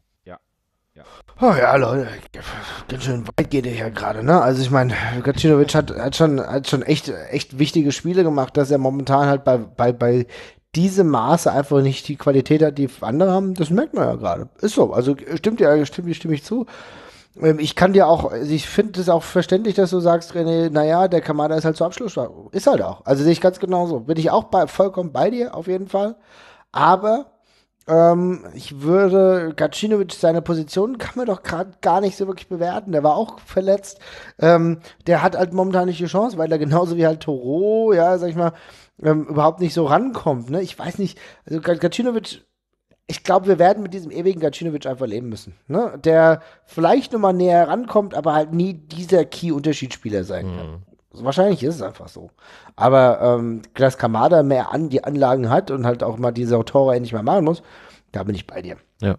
Ja. Zu, Leute, noch zu, zu, zwei, zu zwei hätte ich noch eine Frage, wie ihr sie zumindest ja. in der Saison einschätzt. Das Dann ist bitte. zum einen Durm, Erik Durm, was ihr dazu sagt, wie er, wie er euch gefallen hat bis jetzt so im ersten Drittel bei der Mannschaft und damit dann auch entsprechend Da Costa als äh, ja sozusagen äh, Gegenpart wie ihr die beiden eigentlich dann bewertet auf der rechten Seite sozusagen. Ja, also Durm, Durm finde ich okay als Einwechselspieler tatsächlich oder Spieler, der mal ein, zwei Spiele machen kann. Mehr halt nicht. Ja, okay, sehe ich es auch so. Also Durm wäre für mich jetzt definitiv nicht äh, Richtung Dauerlösung, sondern in der Tat Einwechselspieler, Ersatzspieler, Übergangsspieler, whatever. Ähm, und da ist für mich da Costa schon einfach auf rechts der Spieler, der da, der da gesetzt ist, was auch dann halt wiederum so ein bisschen schade ist für einen Timmy Chandler, der ja jetzt seine Verletzung überstanden hat und da aber halt auch einfach kein, kein Land so richtig äh, sieht und wahrscheinlich auch dauerhaft nicht sehen wird, außer halt eben auch als Einwechselspieler. Meine Erwartungshaltung gegenüber Durm war jetzt nicht so riesengroß, deswegen ist da jetzt auch nicht viel Enttäuschung mit dabei ist ein solider Spieler, aber der wird jetzt nicht irgendwie 20 Spiele oder 30 Spiele am Stück in der Saison machen. So ist das auf jeden Fall, ja. Ja, also ich finde es super, dass wir so einen Spieler haben halt. Also äh, der, der macht mich primär manchmal zu Weißglut, aber der hat uns keine Ablöse gekostet und ist ein Spieler, der eine gewisse Qualität mit sich bringt. Ähm, wir müssen trotzdem perspektivisch schon überlegen, was wir nach Kostic und so machen. Ja, also da, das wird ja auch ein zeitlich endliches Vergnügen sein. Mhm. Müssen wir halt mal gucken. Aber da voll, baue ich voll, auf, äh, voll und ganz auf Ben Manga und Co. Ja, das wäre jetzt auch so mein Take. Gut, dann lasst uns doch diese kleine, äh, vielleicht zu frühe Saisonbewertung abhaken und dann wird es jetzt Zeit für einen guten alten Bekannten. Danke, danke, danke sehr. Aber es ist dann auch wie im richtigen Leben, jede Kopie ist leider nicht so gut wie das Original. Der Marvin hat da heute was getwittert und hat den Dummschwätzer der Woche aus der Versenkung geholt, was äh, gestern zu, hm. oder gestern, ja heute aber auch nochmal, was hm. zu äh, dramatischen Szenen, die sich auf den Straßen abspielten, geführt hat. Menschen lagen sich weinend in den Armen, äh, Autos wurden vor Freude angezündet. Also euer Feedback, was wir da bekommen haben, war grandios. Und äh, wie zu erwarten war am heutigen Tag, dreht es sich ganz viel um äh, auch diese Abraham-Thematik. Ähm, soll ich erstmal das vorlesen, was die Hörer so uns genannt haben? Oh ja, gerne, gerne, gerne. Kannst du machen, ja. Ich hab's zusammenfassen, aber mach, ja, gerne, gerne. Oder, oder Marvin, du, du auch Nö, gerne? raus, auf, komm. Du kannst ja ergänzen, was ich vergessen habe. Also, mhm. der Stefan aka Superheld hat uns tatsächlich nichts geschickt, was mit Abraham zu tun hat, sondern er hat uns eine, eine längliche Mail ähm, geschickt und er, er nominiert. ja, da sind typ. sie wieder, die länglichen Mails vom Superhelden. Ähm, er nominiert das äh, Eintracht äh, Social Media Team, weil die heute irgendwie so einen lustigen Tweet rausgeschickt haben von wegen irgendwie Waiting for Bundesliga mit einem traurig da reinblickenden ähm, äh, Danny da Costa und sein Take dazu ist, ja, kann man machen, wenn man aber gleichzeitig das Problem hat, dass massenweise Leute irgendwie auf das Ticketsystem zugreifen wollen und Eintrittskarten kaufen wollen und die ganze IT nicht in den Lauf kriegen, muss man vielleicht auch manchmal einfach ein bisschen ruhiger sein. Hat, ja hat mhm. sicherlich äh, seine Punkte. Ähm, dann die Zambrine, die allseits bekannte, hat uns ähm, geschrieben, sie würde gerne alle Twitterer nominieren, die Abrahams Bodycheck mit Abrahams äh, Bodycheck den Untergang des friedlichen Bundesliga-Landes äh, äh, gesehen haben. Äh, das war ja so ein Punkt, den wir vorhin auch gut. schon besprochen haben. Dann haben wir ganz viele äh, Nominierungen bekommen zum DFB. Ronny Zimmermann, äh, dem äh, Vorsitzenden Richter und dem Chefankläger in dieser Abraham-Sache. Und zwar haben das geschickt uns äh, der Ehrenbruder, der da war, denn der SGI-Igel, der Jano, äh, Jan Osrek, der Pendejois, äh, Mar Pilgrim, Taunus Abel, Jeboas Zeugen und HSFFM. Ich bin mir ziemlich sicher, ich habe da irgendeinen vergessen. Dann hat uns der Captain Clumsy geschickt, Ralf Rangnick, auch ein lang und gern gesehener Freund unserer Sendung, der fordert, man möge doch bitte die Fußballtore größer machen. Was der da geraucht hat, weiß ich auch wieder nicht. Und äh, Schmackhoff hat den fand ich auch ganz toll, nominiert Julian Wolf von der Welt, der bei Sky letzte Woche gesagt hat, er hat die Schulter von Streich bis, bis ins Studio knacken gehört. Ja. So ein Kacke. Ja, okay. Äh, also daran schließe ich mich tatsächlich an, äh, denn äh, also daran wirklich daran schließe ich mich an. Also denn das ist alles unfassbar absurd tatsächlich. Denn ähm, die Tatsache, dass die Welt mittlerweile komplett den Rad, also komplett das Rad ab, ist unfassbar. Also Julian Wolf, der ja wirklich die knackende Schulter wollte, da denke ich mir, was ist denn eigentlich mit dir los, ja? Dann eben der ebenfalls genannte Patrick Krull, der Attacke äh, äh, hier, die Attacke gegen Streich war auch ein Angriff auf den Fußball. Stelle ich mir die Frage, äh, was ist denn, also echt, ne? Ihr müsst auch echt ganz schön erbärmlich sein, erbärmlich sowieso tatsächlich, aber halt auch ganz schön in Geldnot, dass ihr äh, mit so einer Scheiße dann irgendwie jetzt auch noch Artikel füllen muss, nur damit die Klicks ziehen. Geht mir richtig auf die Eier tatsächlich. Also bin, bin ich richtig wütend. Und das schließt aber meinen, den eigentlichen Grund an, warum ich überhaupt den Dummschwätzer der Woche mal wieder ähm, beleben wollte. Denn wir sind ja hier auch so ein bisschen, naja, der Podcast, wir unterhalten uns über viele Dinge, ja. Hm. Und ähm, äh, ich kann, ich bin, bin wirklich seit, seit zehn Jahren jetzt bei Twitter. Ne? Und das gefällt mir gut. Ich bin, ich mag das. Das ist eine super Sache. Aber bei Gott, ja, es gibt echt so ein paar Twitterer, ne, die schon lange eigentlich SIFT Twitter, ähm, ja, wie soll ich sagen, immer wieder bemühen und eigentlich Rotz sind tatsächlich. Und dazu gehört Don Alfonso. Und oh. eigentlich, ja, Don Alfonso, und ich, das müssen wir mal ein bisschen ganz kurz thematisieren. Ja. Weil Fakt ist, dass Don Alfonso einer derjenigen Leute ist, die in diese, dieses Netzwerk, dieses extrem anfällige Netzwerk wie Twitter eh schon für sich korrumpiert haben, ja, und immer wieder, immer wieder darauf geht und gezielte Shitstorms gegen einzelne Personen vorantreibt, dass er ein, derjenige ist, der schon 2012, schon 2013 ähm, hat er auch angefangen. Das war irgendwie, eigentlich war das irgendwann mal so ein Twitter, der immer schon ein komischer Freak war. Und dann hat er seine Kolumne bei der FAZ gehabt und da hast du gedacht, okay, du bist auch schon ziemlich eine Knalltüte, um es mal positiv zu formulieren. Aber gut, mach halt dein Ding. Und dann irgendwann ist er immer weiter radikalisiert, immer ein krankerer Freak geworden. Und dann hat er auch in seiner FAZ, FAZ-Blog Leute schon persönlich auch angemacht wegen einzelnen Tweets, dass, dass es damals schon Shitstorms gab, aber das hat jetzt eine ganz eigene Dimension. Mittlerweile ist er zur Welt gewechselt. Ah, da kommen wir wieder zur Welt, ja, die anscheinend ein Hort für, äh, für Geisteskranke sind, ja. Grüß, Grüße an Ulf, Ulf Poschardt, der sich jetzt eingeschaltet hat, gemeint, jetzt muss er von sie retten. Ich kann nur sagen, die Welt mit allem, was ich momentan sehe, sei es Patrick Krull, sei es Julian Wolf oder sei es Don Alfonso, ihr bekommt von mir persönlich jetzt schon den äh, Dummschwätzer der Woche. Ich werde übrigens Don Alfonso wahrscheinlich nochmal irgendwann erwähnen. Ich habe nämlich keinen Bock mehr, dass dieses Thema nach zwei Tagen wieder durch ist, weil, weil was der in der letzten Zeit hier für Hass nieder, äh, nieder hat prasseln lassen. In den ganzen Jahren, jetzt wird es langsam mal Zeit, dass wir sagen, hier so jetzt mal stopp, jetzt reicht's auch mal. Weil wir, wir müssen uns so gute Netzwerke wie Twitter und so nicht kaputt machen lassen. Aber ähm, er arbeitet bei einem lustigen Netzwerk, das nennt sich die Welt. Und ich glaube, die haben allein für die Abraham-Berichterstattung mehr als äh, dieses Ding verdient. Aber ihr könnt natürlich trotzdem entscheiden. Aber lieber Leute, keine Angst. Uli H. bekommt nochmal einen Sonderpreis. Aber wir wollen das ja nicht für diese Woche. Da, da, da werden wir uns am Ende des Jahres noch was überlegen. Ich wollte gerade sagen, also gerade Uli H. hat ja jetzt auch angedeutet, dass er sich jetzt viel freier äußern kann, weil ja jetzt oh seine je. Aussagen nicht mehr direkt mit dem FC Bayern in Verbindung gebracht werden. Also das lässt ja einfach auf ganz Großartiges bis zum Ende des Jahres. ja. ja definitiv. Aber ich gebe also, dir vollkommen recht bei diesem Don Alfonso-Thema und wie du schon sagst, das darf man jetzt auch nicht irgendwie nach zwei Tagen da wieder ruhig werden lassen. Man muss die Menschen einfach auch als das benennen, was sie sind, nämlich Menschen, die ganz offensichtlich gegen andere hetzen, aus welchem Grund auch immer, aber äh, solche Menschen sollte man dann mit Gegenwehr äh, begegnen und ähm, nicht das irgendwie unter den Teppich kehren, weil das haben wir zu lange jetzt mittlerweile gemacht.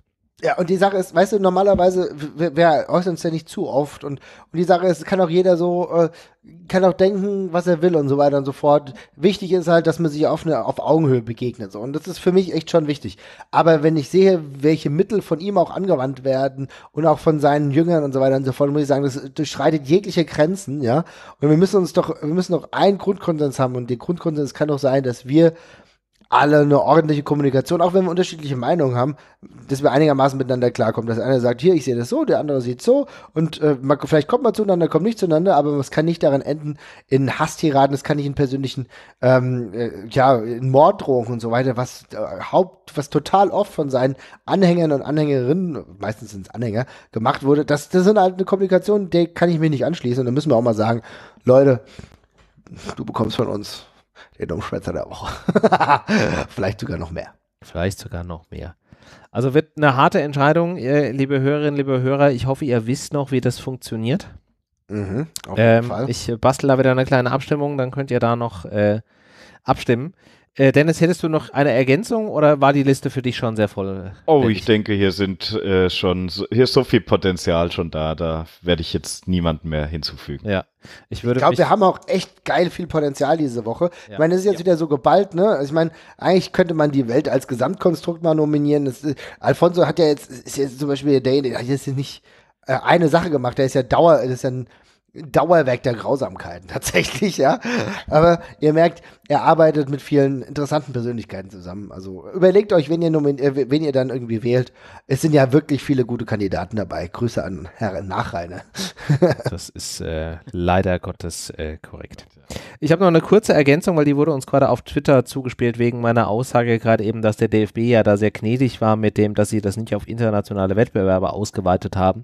Es gibt wohl in äh, der entsprechenden Rechts- und Verfahrensordnung einen Passus, der besagt, dass ähm, Strafen auch, auch internationale Wettbewerbe ausgeweitet können, werden können, wenn die Wettbewerbs Bestimmungen dies denn gebieten. Also Mhm, anscheinend okay. äh, gibt es da einen Passus, dass man das sehr wohl tun könnte. Äh, Krass. das macht das ganze Thema nur noch merkwürdiger und zeigt, wie drastisch oder wie dramatisch eigentlich dieses Geklüngel zwischen diesen Verbänden DFB, UEFA und FIFA tatsächlich ist. Ne? Krähe, Auge Würde ich sagen, so hatte die. Eintracht doch richtig Eier gehabt, dass sie doch den Einspruch gemacht hat.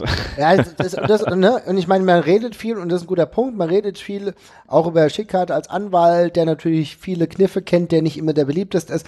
Fakt ist aber, dass in so einer Situation es auch wichtig ist, gute Anwälte zu haben, die es halt einfach in Sachen Verfahrensordnung, die halt einfach wissen, wie weit sie gehen können. Und das ist halt auch einfach eine wichtige Nummer. Ne? Und das muss man auch sehen. Wenn, guck mal, stell dir mal vor, du wärst das Opferlamm und lässt dich dann nochmal bequatschen und bist dann plötzlich auch international gesperrt. Also das wäre aber auch, also da wäre die Kirche überhaupt nicht mehr im Dorf geblieben.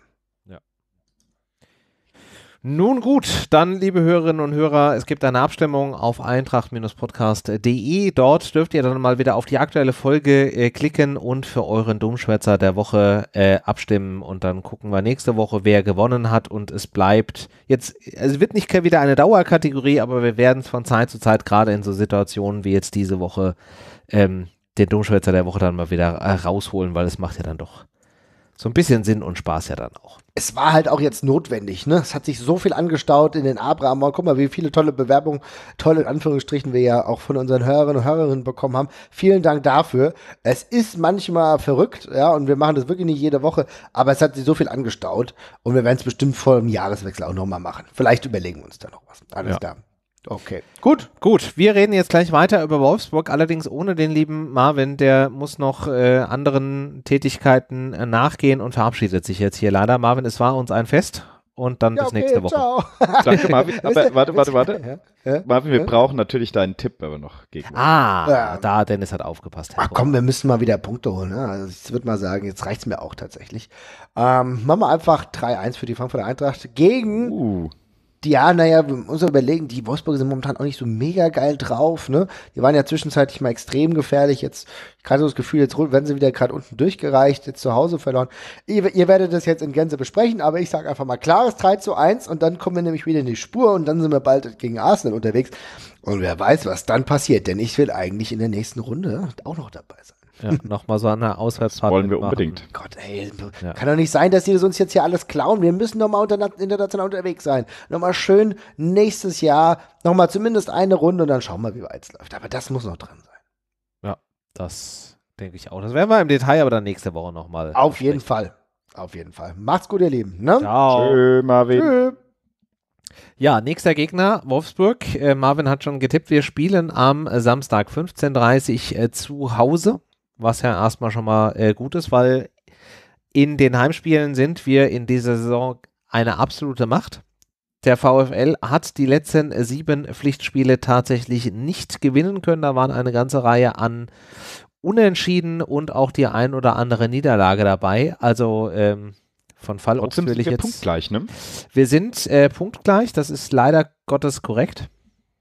Die haben halt davor so ein bisschen äh, mehr gewonnen, aber in der Tat haben sie die letzten sieben Spiele nicht gewonnen. Ich kann dir auch gleich nochmal sagen, gegen wen sie da gepatzt haben, wenn diese Seite hier gleich äh, sich öffnen mag.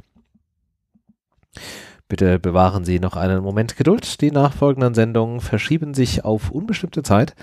So, ähm, Sie haben zuletzt gegen Leverkusen 2-0 verloren. Sie haben gegen äh, Gent 3-1 verloren. Sie haben 3-0 gegen den BVB verloren. Sie haben dezent mit 1 zu 6 gegen Leipzig verloren. Sie haben eine Unentschieden gegen äh, Augsburg gespielt, Unentschieden im Hinspiel gegen Gent und dann ein Unentschieden gegen äh, nochmal Wolfsburg. War das ein Freundschaftsspiel oder war das eine Pokal? Ich glaube, das eine war Pokal, ne? Wahrscheinlich war das Pokal. Meine, das äh, eine Leipzig. wäre Pokal gewesen. Genau, die haben wir zweimal gespielt. Einmal Liga unentschieden und im Pokal dann verloren. So müsste es hinkommen. Genau. Okay, aber das sind natürlich jetzt auch nicht die absoluten Pappmannschaften, gerade hier mit äh, Dortmund Augsburg. und Leipzig, ja, außer Augsburg, genau. Grü Grüße nach Äh, Augsburg.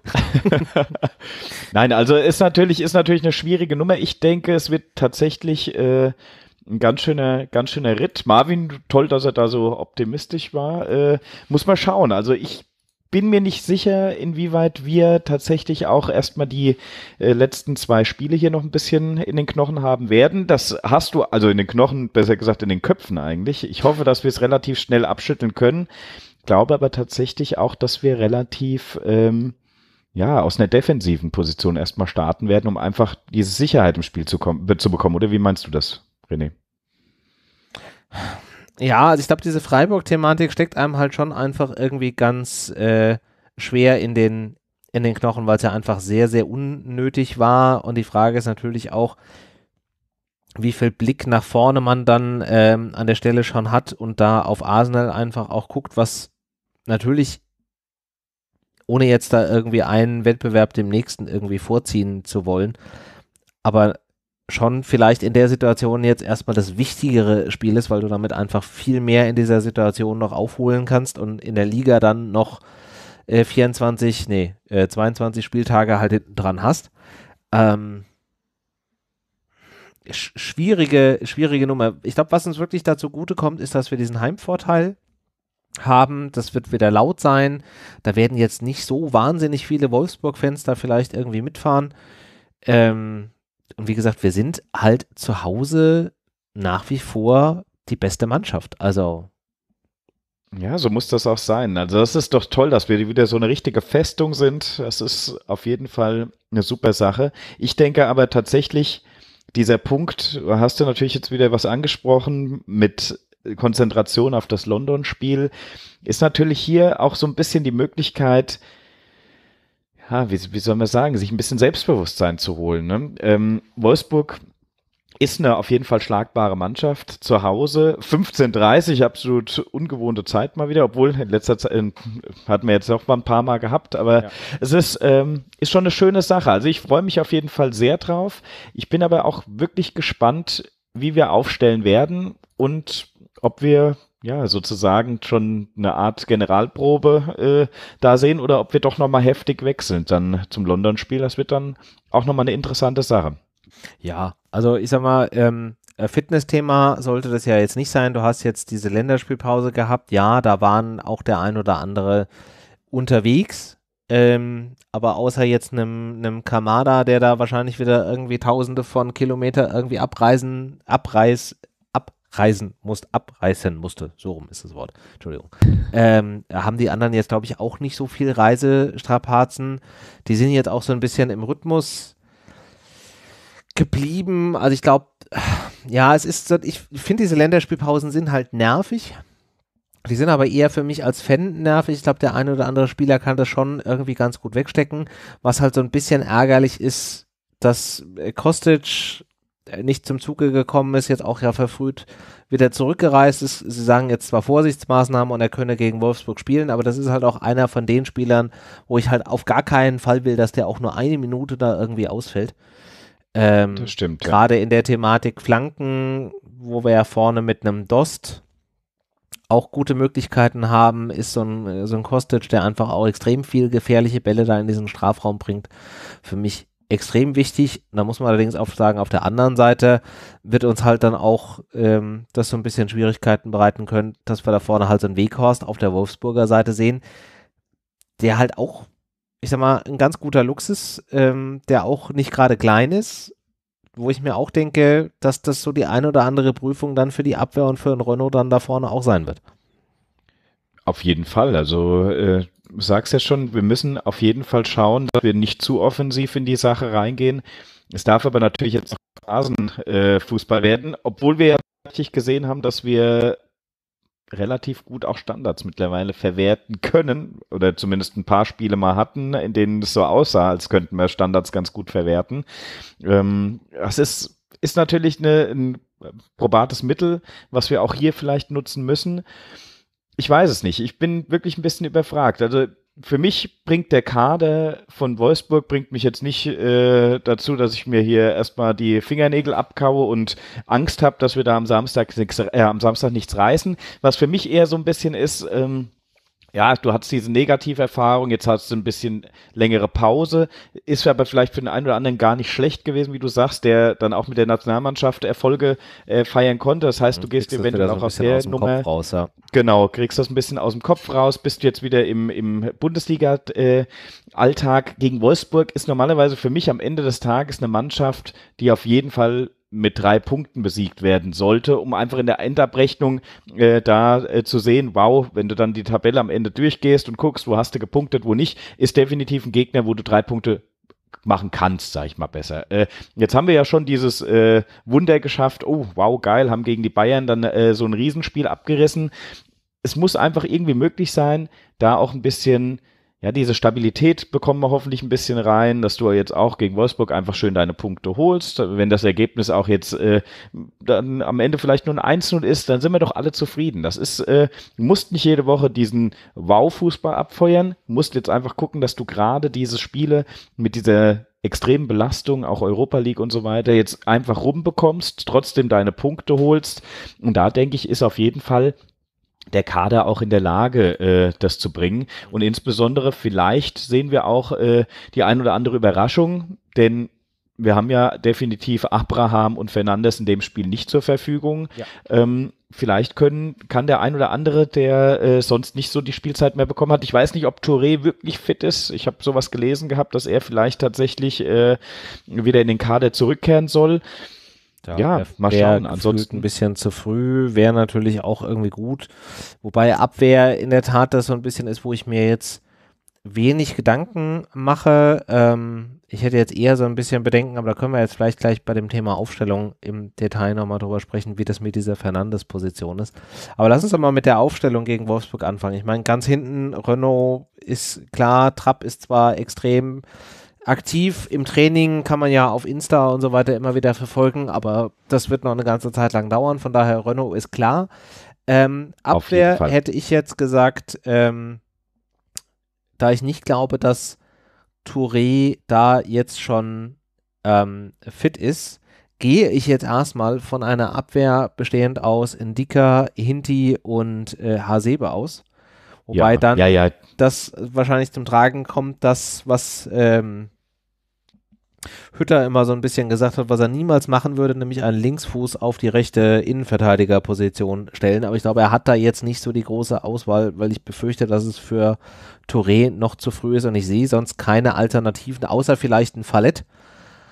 Aber pff, ja. Ist er nicht. überhaupt bis dahin noch im, äh, im Kader? Also es hieß doch, er will wechseln oder wäre das erst zum Winter? Wie ist das denn eigentlich? Ähm, was war denn mit dieser Causa gewesen? Also er Wo kann ja gelesen? theoretisch, wenn ich die Regeln richtig im Kopf habe, äh, Achtung, äh, gefährliches Halbwissen, kann er wechseln, weil das immer die Wechselzeiten des, ähm, des aufnehmenden Landes entscheidet. Also nur weil unser Transferfenster ja. weg ist, kann er trotzdem wechseln, aber er kann halt nur in einen, in einen Ligabetrieb wechseln, die jetzt noch Transferfenster haben. Und da gab es, glaube ich, den einen oder anderen, die jetzt tatsächlich noch Transferfenster bis Ende November, meine ich, sogar haben.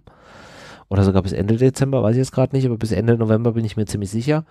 Ähm, ob das dann allerdings die Länder sind, wo er hin ist will, aber für dich auch auf definitiv auch nicht die erste Wahl, sondern Hasebe wäre für dich wahrscheinlich auch, dass du sagen würdest, wenn äh, Hasebe auch wieder fit ist. Ich habe ja so ein bisschen das Gefühl, er hatte da ja mit seiner Gehirnerschütterung ein bisschen Probleme, dann hat er auch ein, zwei Spiele dann generell nicht so performt, wie man das eigentlich von ihm gewohnt ist. Er ist halt auch jemand, der glaube ich jetzt, da wird's langsam problematisch, diese Anzahl an Spielen einfach auf dem Niveau zu halten. Und das ist vielleicht auch eine Altersfrage. Ich weiß es nicht. Er ist ein bisschen verletzungsanfälliger, er hat da auch so ein bisschen Probleme, ähm, manchmal das Tempo zu gehen. Ja. Trotz, nichtsdestotrotz finde ich, ist es einer unserer stärksten Spieler, gerade auf dieser, in Anführungszeichen, Mittel-Libero-Position.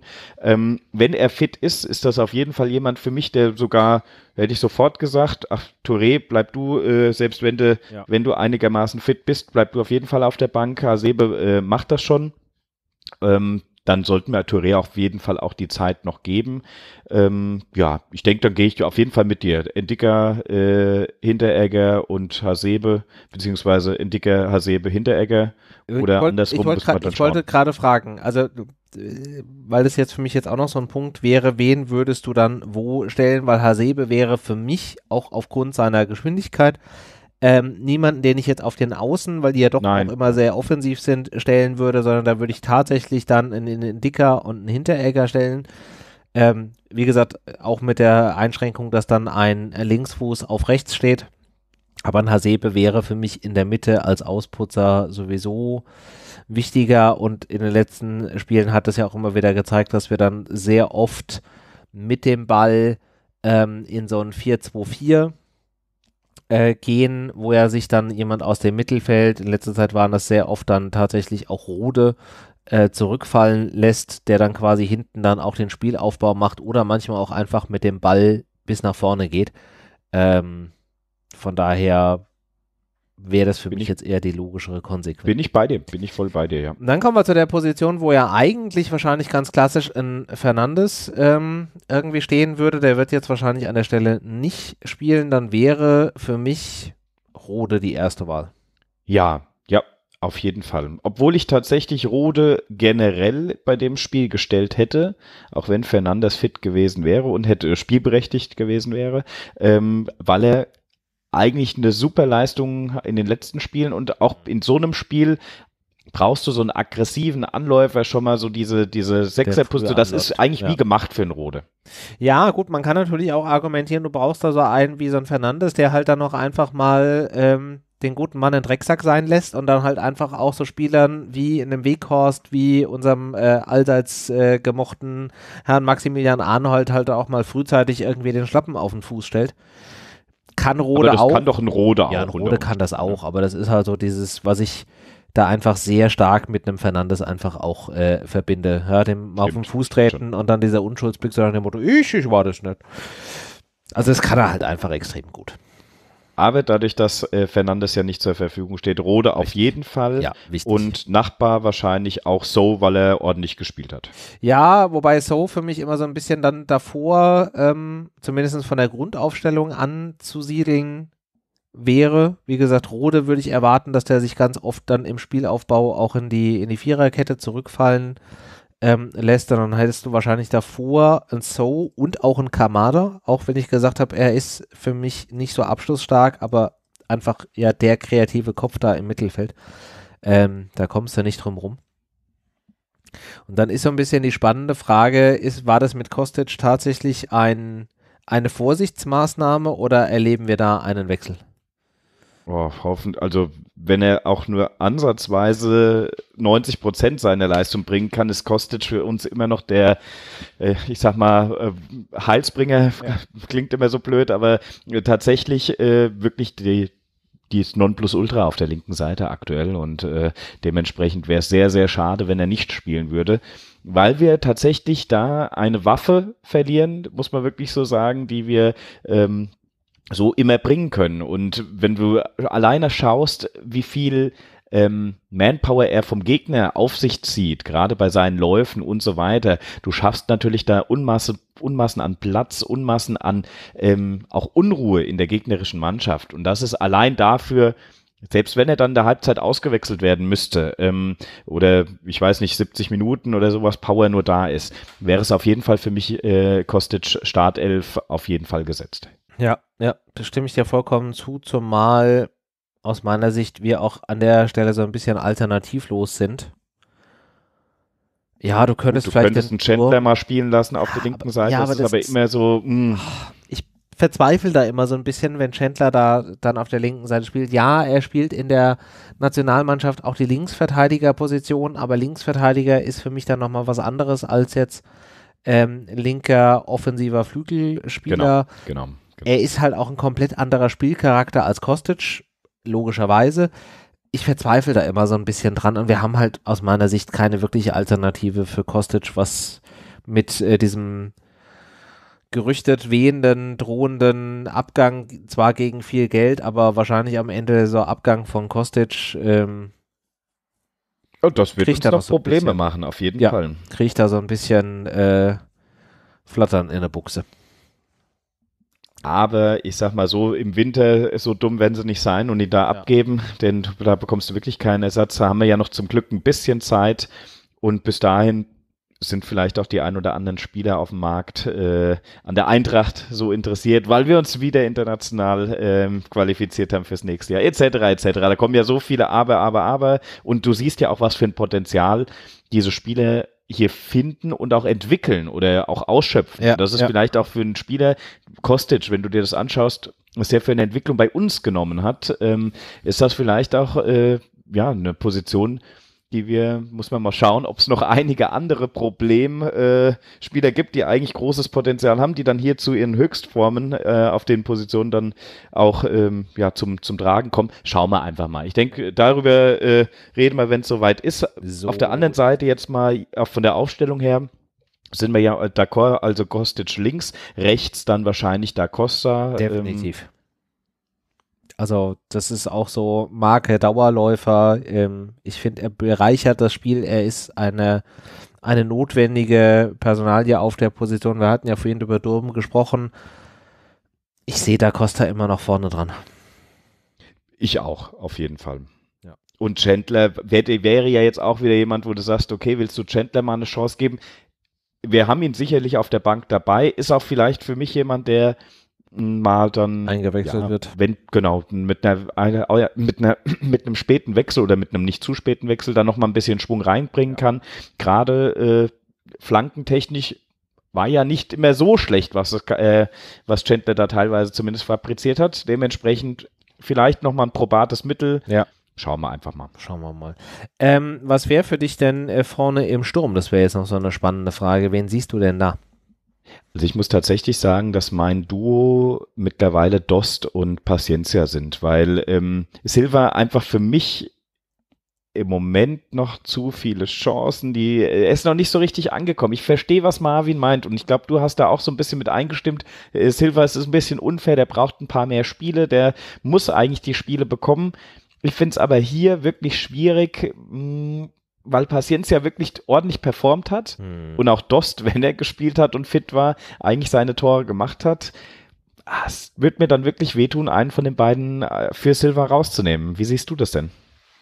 Also ich war, habe auch einen Moment länger überlegt. Ich glaube, an Dost führt in der Situation kein Weg vorbei. Er ist der Zielspieler da vorne. Er tut dem Spiel gerade mit, mit langen Bällen geht extrem äh, gut, weil er eben auch die Bälle annimmt, äh, verteilt, halten kann ähm, der auch einfach sehr gut auch mit in der Defensive arbeitet, der auch immer sehr viel unterwegs ist und auch sehr schnell unterwegs ist, was ich ja auch nicht gedacht hätte, weil er einfach auch von seiner körperlichen Statur halt eher so nach langsamen Spieler aussieht, aber ich glaube, er ist gar nicht so langsam.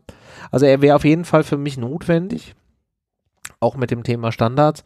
Und ich sehe in der Situation jetzt auch so ein bisschen Paciencia vorne vor Silva. Nicht, weil ich jetzt irgendwie sage, dass Silva für mich der schlechtere Spieler ist. Ich glaube, der braucht auch in der Tat so ein paar Spiele, um da die Position noch zu finden.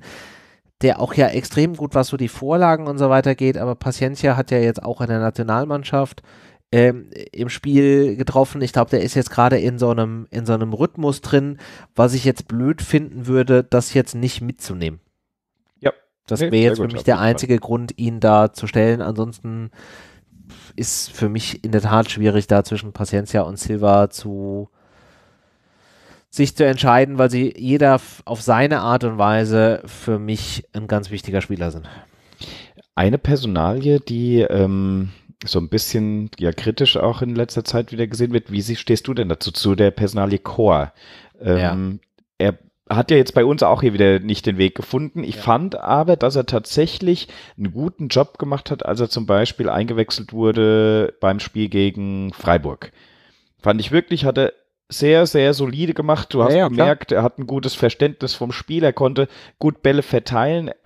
Also eine gewisse Sicherheit ist da da. Ich kann nicht jetzt, ich muss ja am Anfang sagen, ich habe gedacht, seid ihr denn wahnsinnig? Wie konntet ihr da neun Millionen überweisen? Jetzt verstehe ich es auch noch nicht hundertprozentig. Nee. Ähm, aber zumindest ist es so, er hat die Ansätze, wo man sieht, ah, okay, das scheint die Mannschaft oder das scheinen die Entscheidungsträger gesehen zu haben und das war es wohl so ähm, für in deren Augen wert. Ja. Mhm, auf der anderen Seite ist es jemand, der auch so ein bisschen ja zu den hm, Verlierern ist der falsche Ausdruck, aber es ist jemand, der sich momentan auch nicht so wirklich in die Mannschaft reinspielen kann. Oder denkst du, dass das sogar, dass wir hier vielleicht ein bisschen ähm, taktisch vielleicht sogar mit einem Chor lieber spielen, anstatt mit einem So?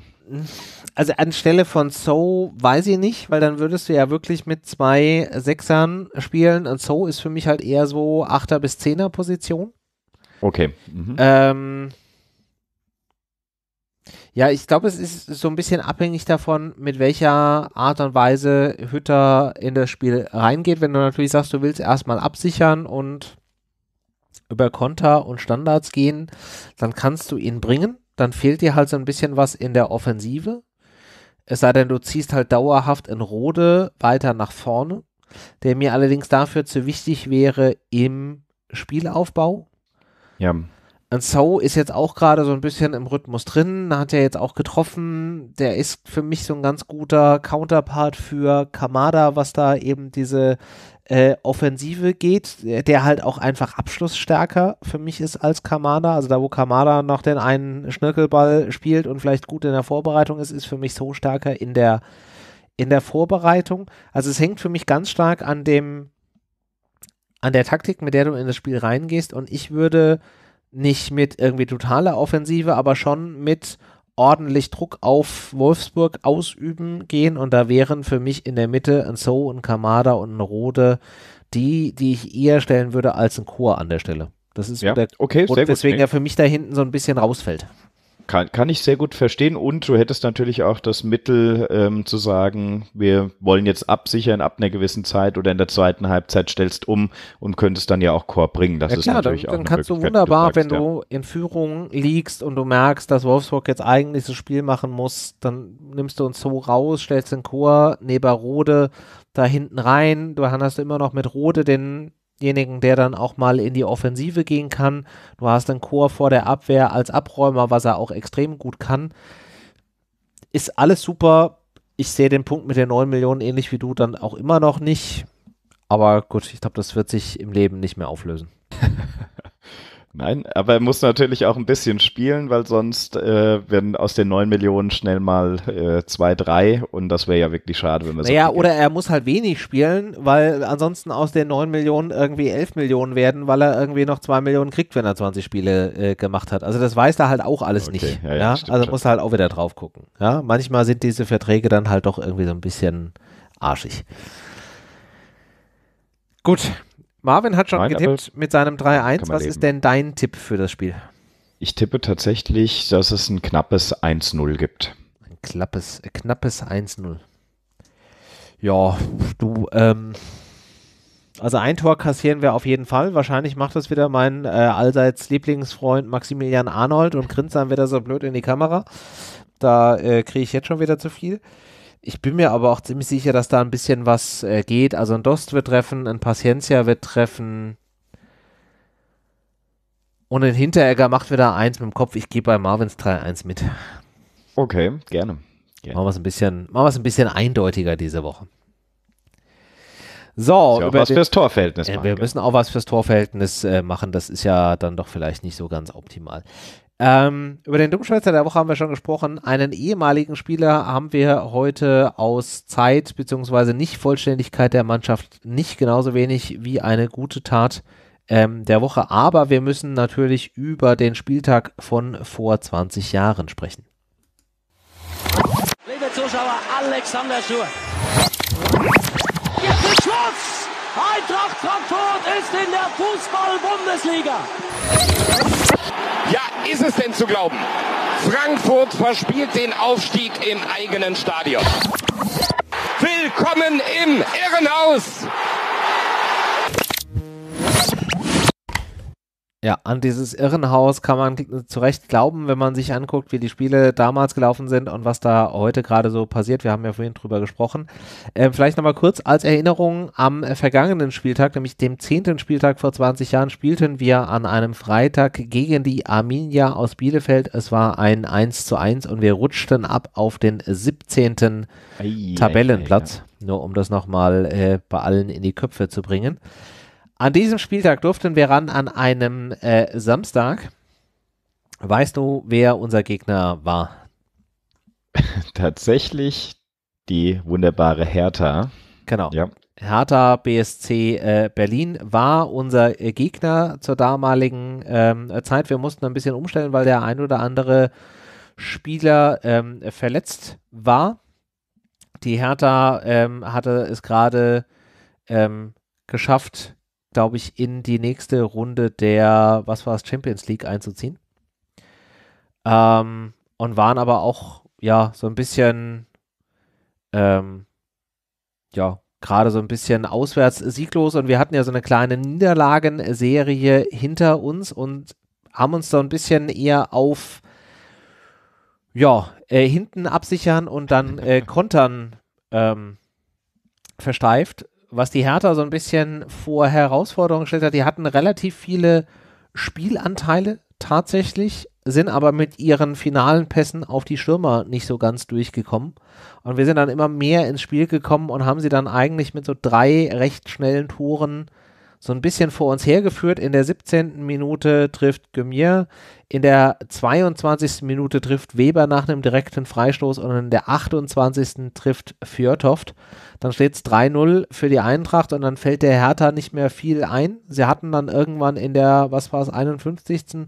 tatsächlich nochmal ähm, einen Foul-Elfmeter bekommen Oha. den sie allerdings äh, nicht verwandeln konnten. Ich meine, wie konnte das auch anders ergehen? Da stand Oka Nikolov im Tor. Wie soll denn da das bitte auch ein Elfmeter reingehen? Und dann macht äh, unsererseits Held in der 89. mit einem äh, Foul-Elfmeter das 4-0 und dann ist das Ding auch die Messe gelesen. Die Sehr Messe gut. gelesen, Nein. das Lied gesungen, der Wein ist alle, was auch immer du da sagen willst. Aber ja. es, ist, es ist ja wunderbar auch, dass äh, Spieler des Spiels, Oka Nikolov, natürlich, äh, wenn er da so eine starke Leistung natürlich zeigt, ist The natürlich eine, eine feine Sache. The one and only Oka Nikolov. So ist ah, Wunderbar. Wie war denn aber ansonsten unsere Ausstellung, René? Unsere Ausstellung. Äh, Nikolov haben wir schon erwähnt. In der Abwehr Kutschera, Jansen, Kracht. Davor ähm, Rasiewski auf den Außenbahnen Dombi und Weber in der ja so mehr zentral offensiven Variante Gomier und dann halt der von mir schon erwähnte Horst Held, der jetzt, wenn ich das richtig verstanden habe, bei den Kollegen in Köln angeheuert hat. Damit der, der liebe Axel noch ganz viel dazu erzählen. Herzlichen Glückwunsch Grüße, zu, diesem, zu, diesem, Transfer. Und ganz vorne Fjörtoft und äh, Young, der ja den verletzten Young, ach du ähm, hier, äh, sagen Sie es, äh, Dings ersetzt hat. Jetzt hatte ich den Namen gerade eben im, im Kopf und jetzt ist er wieder weg. Entschuldige dafür. Ähm, du meinst, wer für Chen Yang vorher gespielt hat, meinst du? Äh, korrekt. Ich hatte es gerade eben noch im Kopf und jetzt ist es wieder weg und jetzt kriege ich es auch nicht wieder hin. Ist ja auch wurscht. Um, hm, hm, hm. Ist ja auch wurscht, ja. nicht wahr? Ja, ja, ja. Wer, ja, stand, ja. wer saß denn noch auf der Bank? Aber da war er natürlich dann auch nicht dabei. Da war er natürlich Falk? auf der Bank auch nicht. Nee, Falk ist äh, später eingewechselt worden, tatsächlich. Mhm. Von daher, der war es nicht. Ist, äh, fällt mir sicherlich gleich wieder ein. Ist ja auch jetzt erstmal nicht so wichtig. Ähm, genau, das war so ein bisschen die, die Thematik, wie es da hinging. Die Hertha auf ihrer Seite, vielleicht fällt es mir dann gleich wieder ein. Ähm, Kiralei im, im Tor Sverison van Burik, davor Rekdal, den kennt man auch noch. Ja. Neuendorf, Schmidt und Konstantinidis, auch eine, ein ganz, ja, kennt man noch. Tom, wow. Wosch, kennt man auch noch. Oh. Aracic und Dai. Wahnsinn. Ja, das ist. Äh, also das sind, da sind schon auf jeden Fall auch ein paar Namen dabei. Es sind äh, auch so ein paar dabei. Äh, an den, an den Wosch erinnere ich mich noch ganz genau. Gott, oh Gott, oh Gott. Aber 4-0 ist natürlich auch wirklich eine super Leistung. 4-0 ist eine super Leistung, war mehr als äh, notwendig. Genau. War mehr als notwendig. Young spielte natürlich für den verletzten Salou. Jetzt habe ich's. Ah, natürlich, ja. ja. Natürlich. Es ist, äh, weiß auch nicht, warum ich da jetzt gerade eben nicht kam. Er kam im letzten Spiel schon, glaube ich, für da wurde er. Äh, Salou. Ja, ja, der hat sich frühe Auswechslung irgendwie war das, glaube ich, gewesen. Ja. ja, ja, ja, ja, ja, ja. Genau. Genau, okay. genau, genau. Damals auch schon äh, Michael Preetz bei der Hertha, allerdings äh, noch äh, im spielenden Betrieb. Der wurde nämlich auch eingewechselt in der 49. Minute für Megdal. Ja. Wahnsinn. Trainer bei der Hertha damals Jürgen Röber und bei Nein, uns bitte. kein anderer als Jörg Berger. Naja, da hat sich nicht viel geändert. Da hat sich an der manch einer Stelle nicht viel geändert. Ich gucke gerade, was macht denn Darius Wosch eigentlich heute? Den habe ich eigentlich hauptsächlich in Erinnerung durch seine Zeit bei Bochum und weniger durch die Zeit bei der Hertha. Was zum Geier macht der Mensch denn heute? Das würde ich jetzt wissen. Erleben Sie live, wie ich äh, versuche äh, zu googeln, wenn mein Rechner. Was macht er eigentlich? Was macht eigentlich, genau. Heute in äh, anderer Variante. Darius Wosch ist Fußballtrainer, aber wo? Das ist immer gut. Für die Nationalmannschaft der DDR, nein, interessiert nicht. Bis 2013 war Wosch Trainer der U19-Jugend äh, des VfL Bochum. Äh, seit September 20, 2009 war er zusätzlich Co-Trainer, Interimstrainer. Ähm, übernahm er zwei Tage äh, Bundesligaspiele. Er ist als Techniktrainer und im Trainerteam der ersten Mannschaft des VfL Bochum. Okay. Aber das war, aha, okay. Ja. Also der sozusagen ersten elf und die U19 wurde abgemeldet, oder was? Die U19 wurde, so wie ich das hier lese, abgemeldet. Genau, er war zwischenzeitlich mal zwei Tage tatsächlich auch äh, Cheftrainer nach der Entlassung von Heiko Herrlich und ist jetzt da als Techniktrainer im Trainerteam des äh, VfL Bochum. Spannend. Na gut, viel Erfolg. Ja. Ich, ja, wie gesagt, hauptsächlich hatte ich ihn auch als Spieler eher mit ähm, mit Bochum in Verbindung gebracht, als jetzt tatsächlich mit der Hertha. Aber vielleicht liegt es auch einfach daran, dass man äh, versucht, die Hertha relativ schnell generell wieder zu vergessen. ja. Hm. Hm, genau. So, damit äh, ist äh, der Spieltag für uns rum. Wir gewinnen 4-0 gegen äh, die Hertha. Wahnsinn. Relativ deutlich. Ähm, Lautern gewann an dem Spieltag 2-1 gegen Schalke. 1860 München gewann 2-1 gegen Unterhaching. Die Bayern haben mit einem 0 1 den SSV Ulm förmlich aus dem Stadion geschossen. Oh je.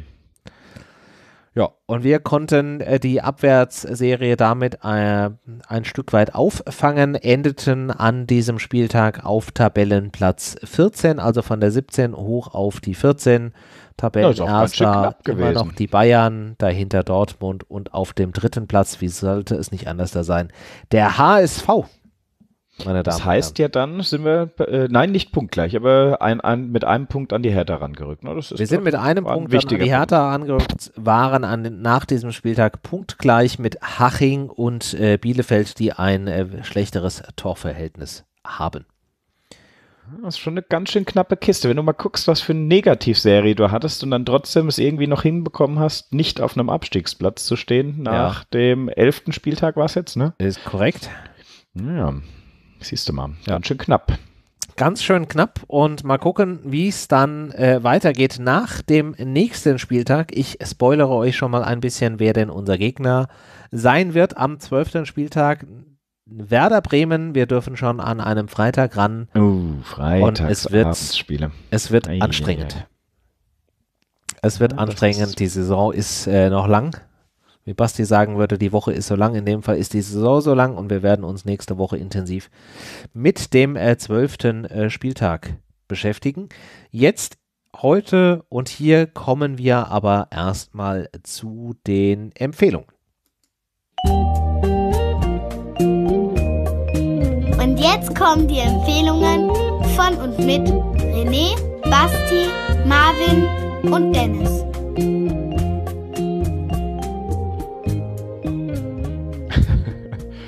Ah, ich liebe es. Fast, muss man sagen. Fast in der ganzen äh, Gruppe. Ja, Mehr ist, 50 äh, Prozent richtig, sind da. Also ein gewisser Prozentsatz ist hier noch anwesend. Sehr gut. So, Dennis, hast du denn etwas, was du unseren Hörern und Hörerinnen empfehlen möchtest? Ich habe tatsächlich eine Empfehlung, aber dazu würde ich gerne äh, dich ein bisschen befragen. Und zwar habe ich Warum? gehört, dass du gestern im Heimspiel warst. Wieso wusste ich, dass es jetzt kommt? Das war nicht abgesprochen. Ich habe es zwar da reingeschrieben, aber eigentlich, weil ich es empfehlen wollte. Aber gut, wenn Dennis du das empfehlen möchtest, dann äh, sehr gerne. Ja, ich war gestern äh, zu Gast im Heimspiel. Der ein oder andere hat es schon gesehen. Wir haben so ein bisschen auch äh, Bilanz gezogen über die, dieses Drittel der Eintracht-Saison. Wir haben auch da über die Abraham-Thematik gesprochen. Und ich musste reden über die äh, Nationalmannschaft. uh, Ein Schwieriges, äh, schwieriges Thema. schwieriges Thema. Du warst mit Phil Hofmeister Ich da. war mit Phil Hofmeister dabei, der ja seines äh, Zeichens nicht nur Angestellter des Hessischen Rundfunks, sondern auch ARD-Reporter für die Nationalmannschaft Genau. ist. Mhm. Ähm, heute äh, bei dem Spiel live beiwohnen kann. Ich habe keine Ahnung, wie viel es steht. Das interessiert mich auch Stand wohl 0,gar vorhin mal nicht. 1-0 gegen Ja. die Deutschen. Gro großartig. Ähm, ja, war eine lustige, lustige Runde. Ich muss sagen, Fernsehen ist komplett anders als Podcast. Obviously, wer hätte es gedacht?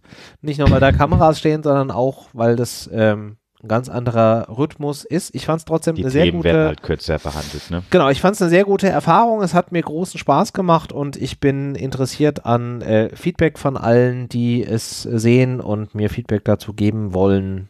Ihr wisst, über welche Kanäle ich zu erreichen bin und ja, ich glaube, Empfehlung von deiner Seite nachvollziehbar. Beziehungsweise, warum empfiehlst du es denn? Hast du es denn gesehen?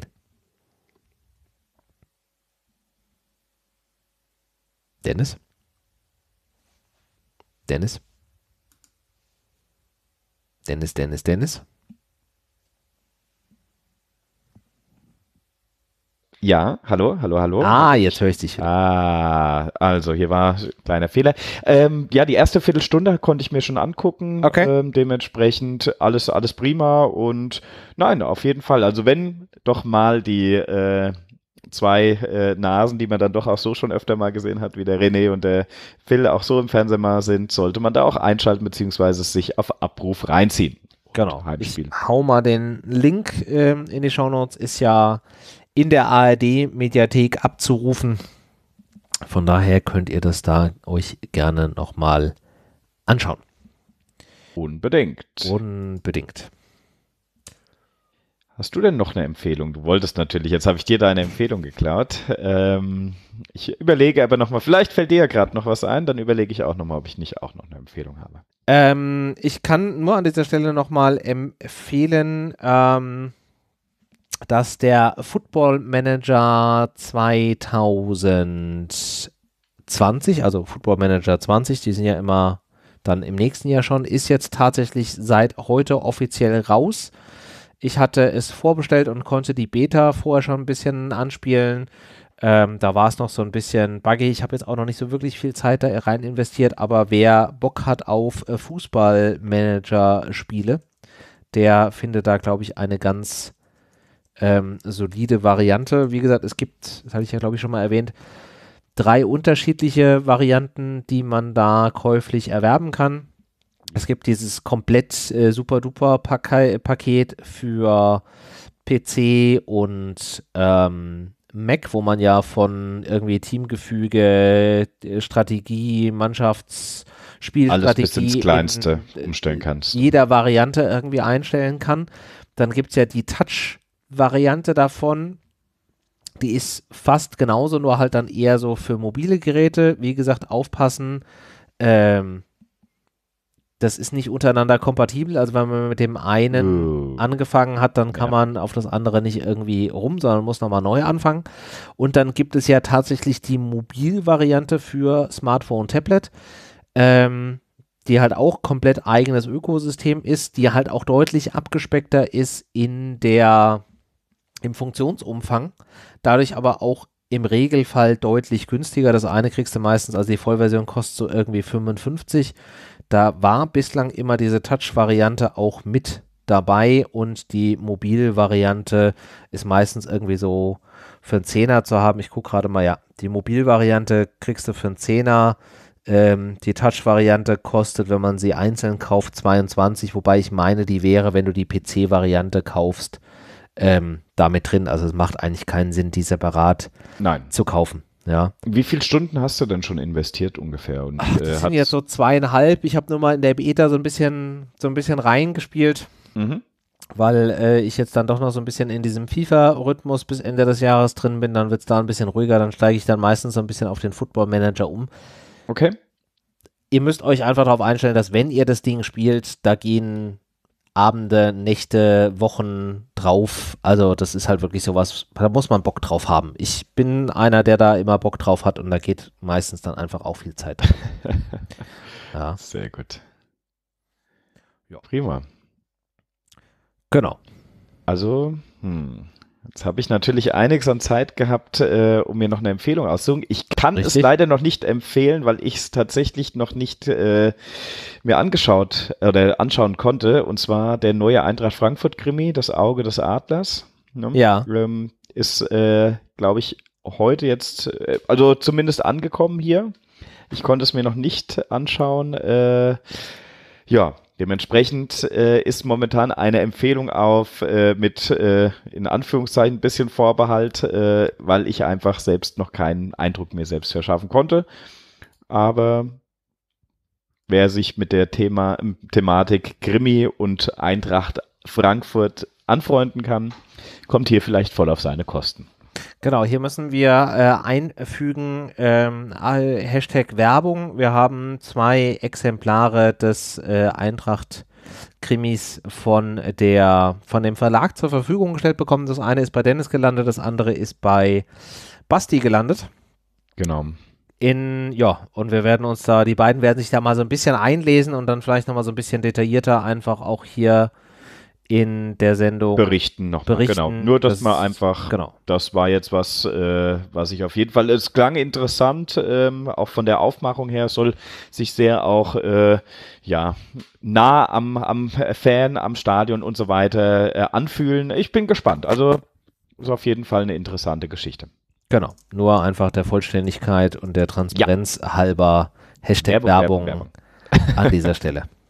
Jawohl. Jawohl. Genau, dann habe ich ähm, keine so richtige Empfehlung mehr, aber einen Wunsch hätte ich vielleicht noch, äh, liebe Hörerinnen und Hörer. Erstmal sage ich nochmal ganz artig äh, Danke für all die Menschen, die uns hier regelmäßig unterstützen. Wenn ihr noch nicht dazugehört oder wissen wollt, wie ihr uns unterstützen könnt, dann geht ihr auf eintracht-podcast.de. Da gibt es eine Support-Seite und da findet ihr die unterschiedlichsten Möglichkeiten, wie ihr uns unterstützen könnt per Überweisung, PayPal, ähm, Patreon, Empfehlungen, whatever. Und da findet ihr unter anderem auch einen Amazon Affiliate Link und jetzt gehen ja demnächst hier wieder die Cyber Monday, Black Friday Wahnsinnswochen los und äh, Amazon kriegt ja da auch den Hals nicht voll, muss man auch ganz ehrlicherweise sagen. Die machen jetzt aus einem Black Friday, was ein einzelner Tag war, machen die jetzt eine ganze Woche.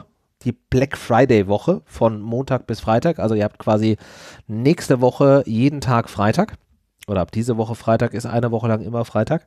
Und wenn ihr ähm, dort einkauft, genötigterweise, ungenötigterweise oder weil ihr gerade eben ein Schnäppchen macht, dann wäre es ganz hervorragend, wenn ihr den kurzen Umweg über unsere Seite macht und diesen Affiliate-Link nutzt. Es kostet euch nicht mehr, aber am Ende bleibt ein gewisser Prozentsatz dann bei uns hängen und dann könnt ihr quasi etwas Gutes tun, indem ihr uns unterstützt. Ihr könnt äh, Gerne als Lesezeichen einsetzen. Ist auch eine Variante. Normale Amazon.de. Einfach im Endeffekt diesen Link äh, ersetzen, durch den Link ersetzen, ist eine feine Sache und Genau. würde uns auf jeden Fall sehr freuen. Ist auch vollkommen egal, was ihr dann da kauft. Das ist nicht von irgendwelchen Produkten abhängig. Einfach ganz normal darüber die Seite ansurfen und dann ist das fein. Und ja, vielleicht habt ihr das Glück und macht das ein oder andere Schnäppchen von Dingen, auf die ihr schon ganz lange gewartet habt. Und wenn da noch der ein oder andere Cent oder Euro bei uns hängen bleibt, dann ist das hervorragend.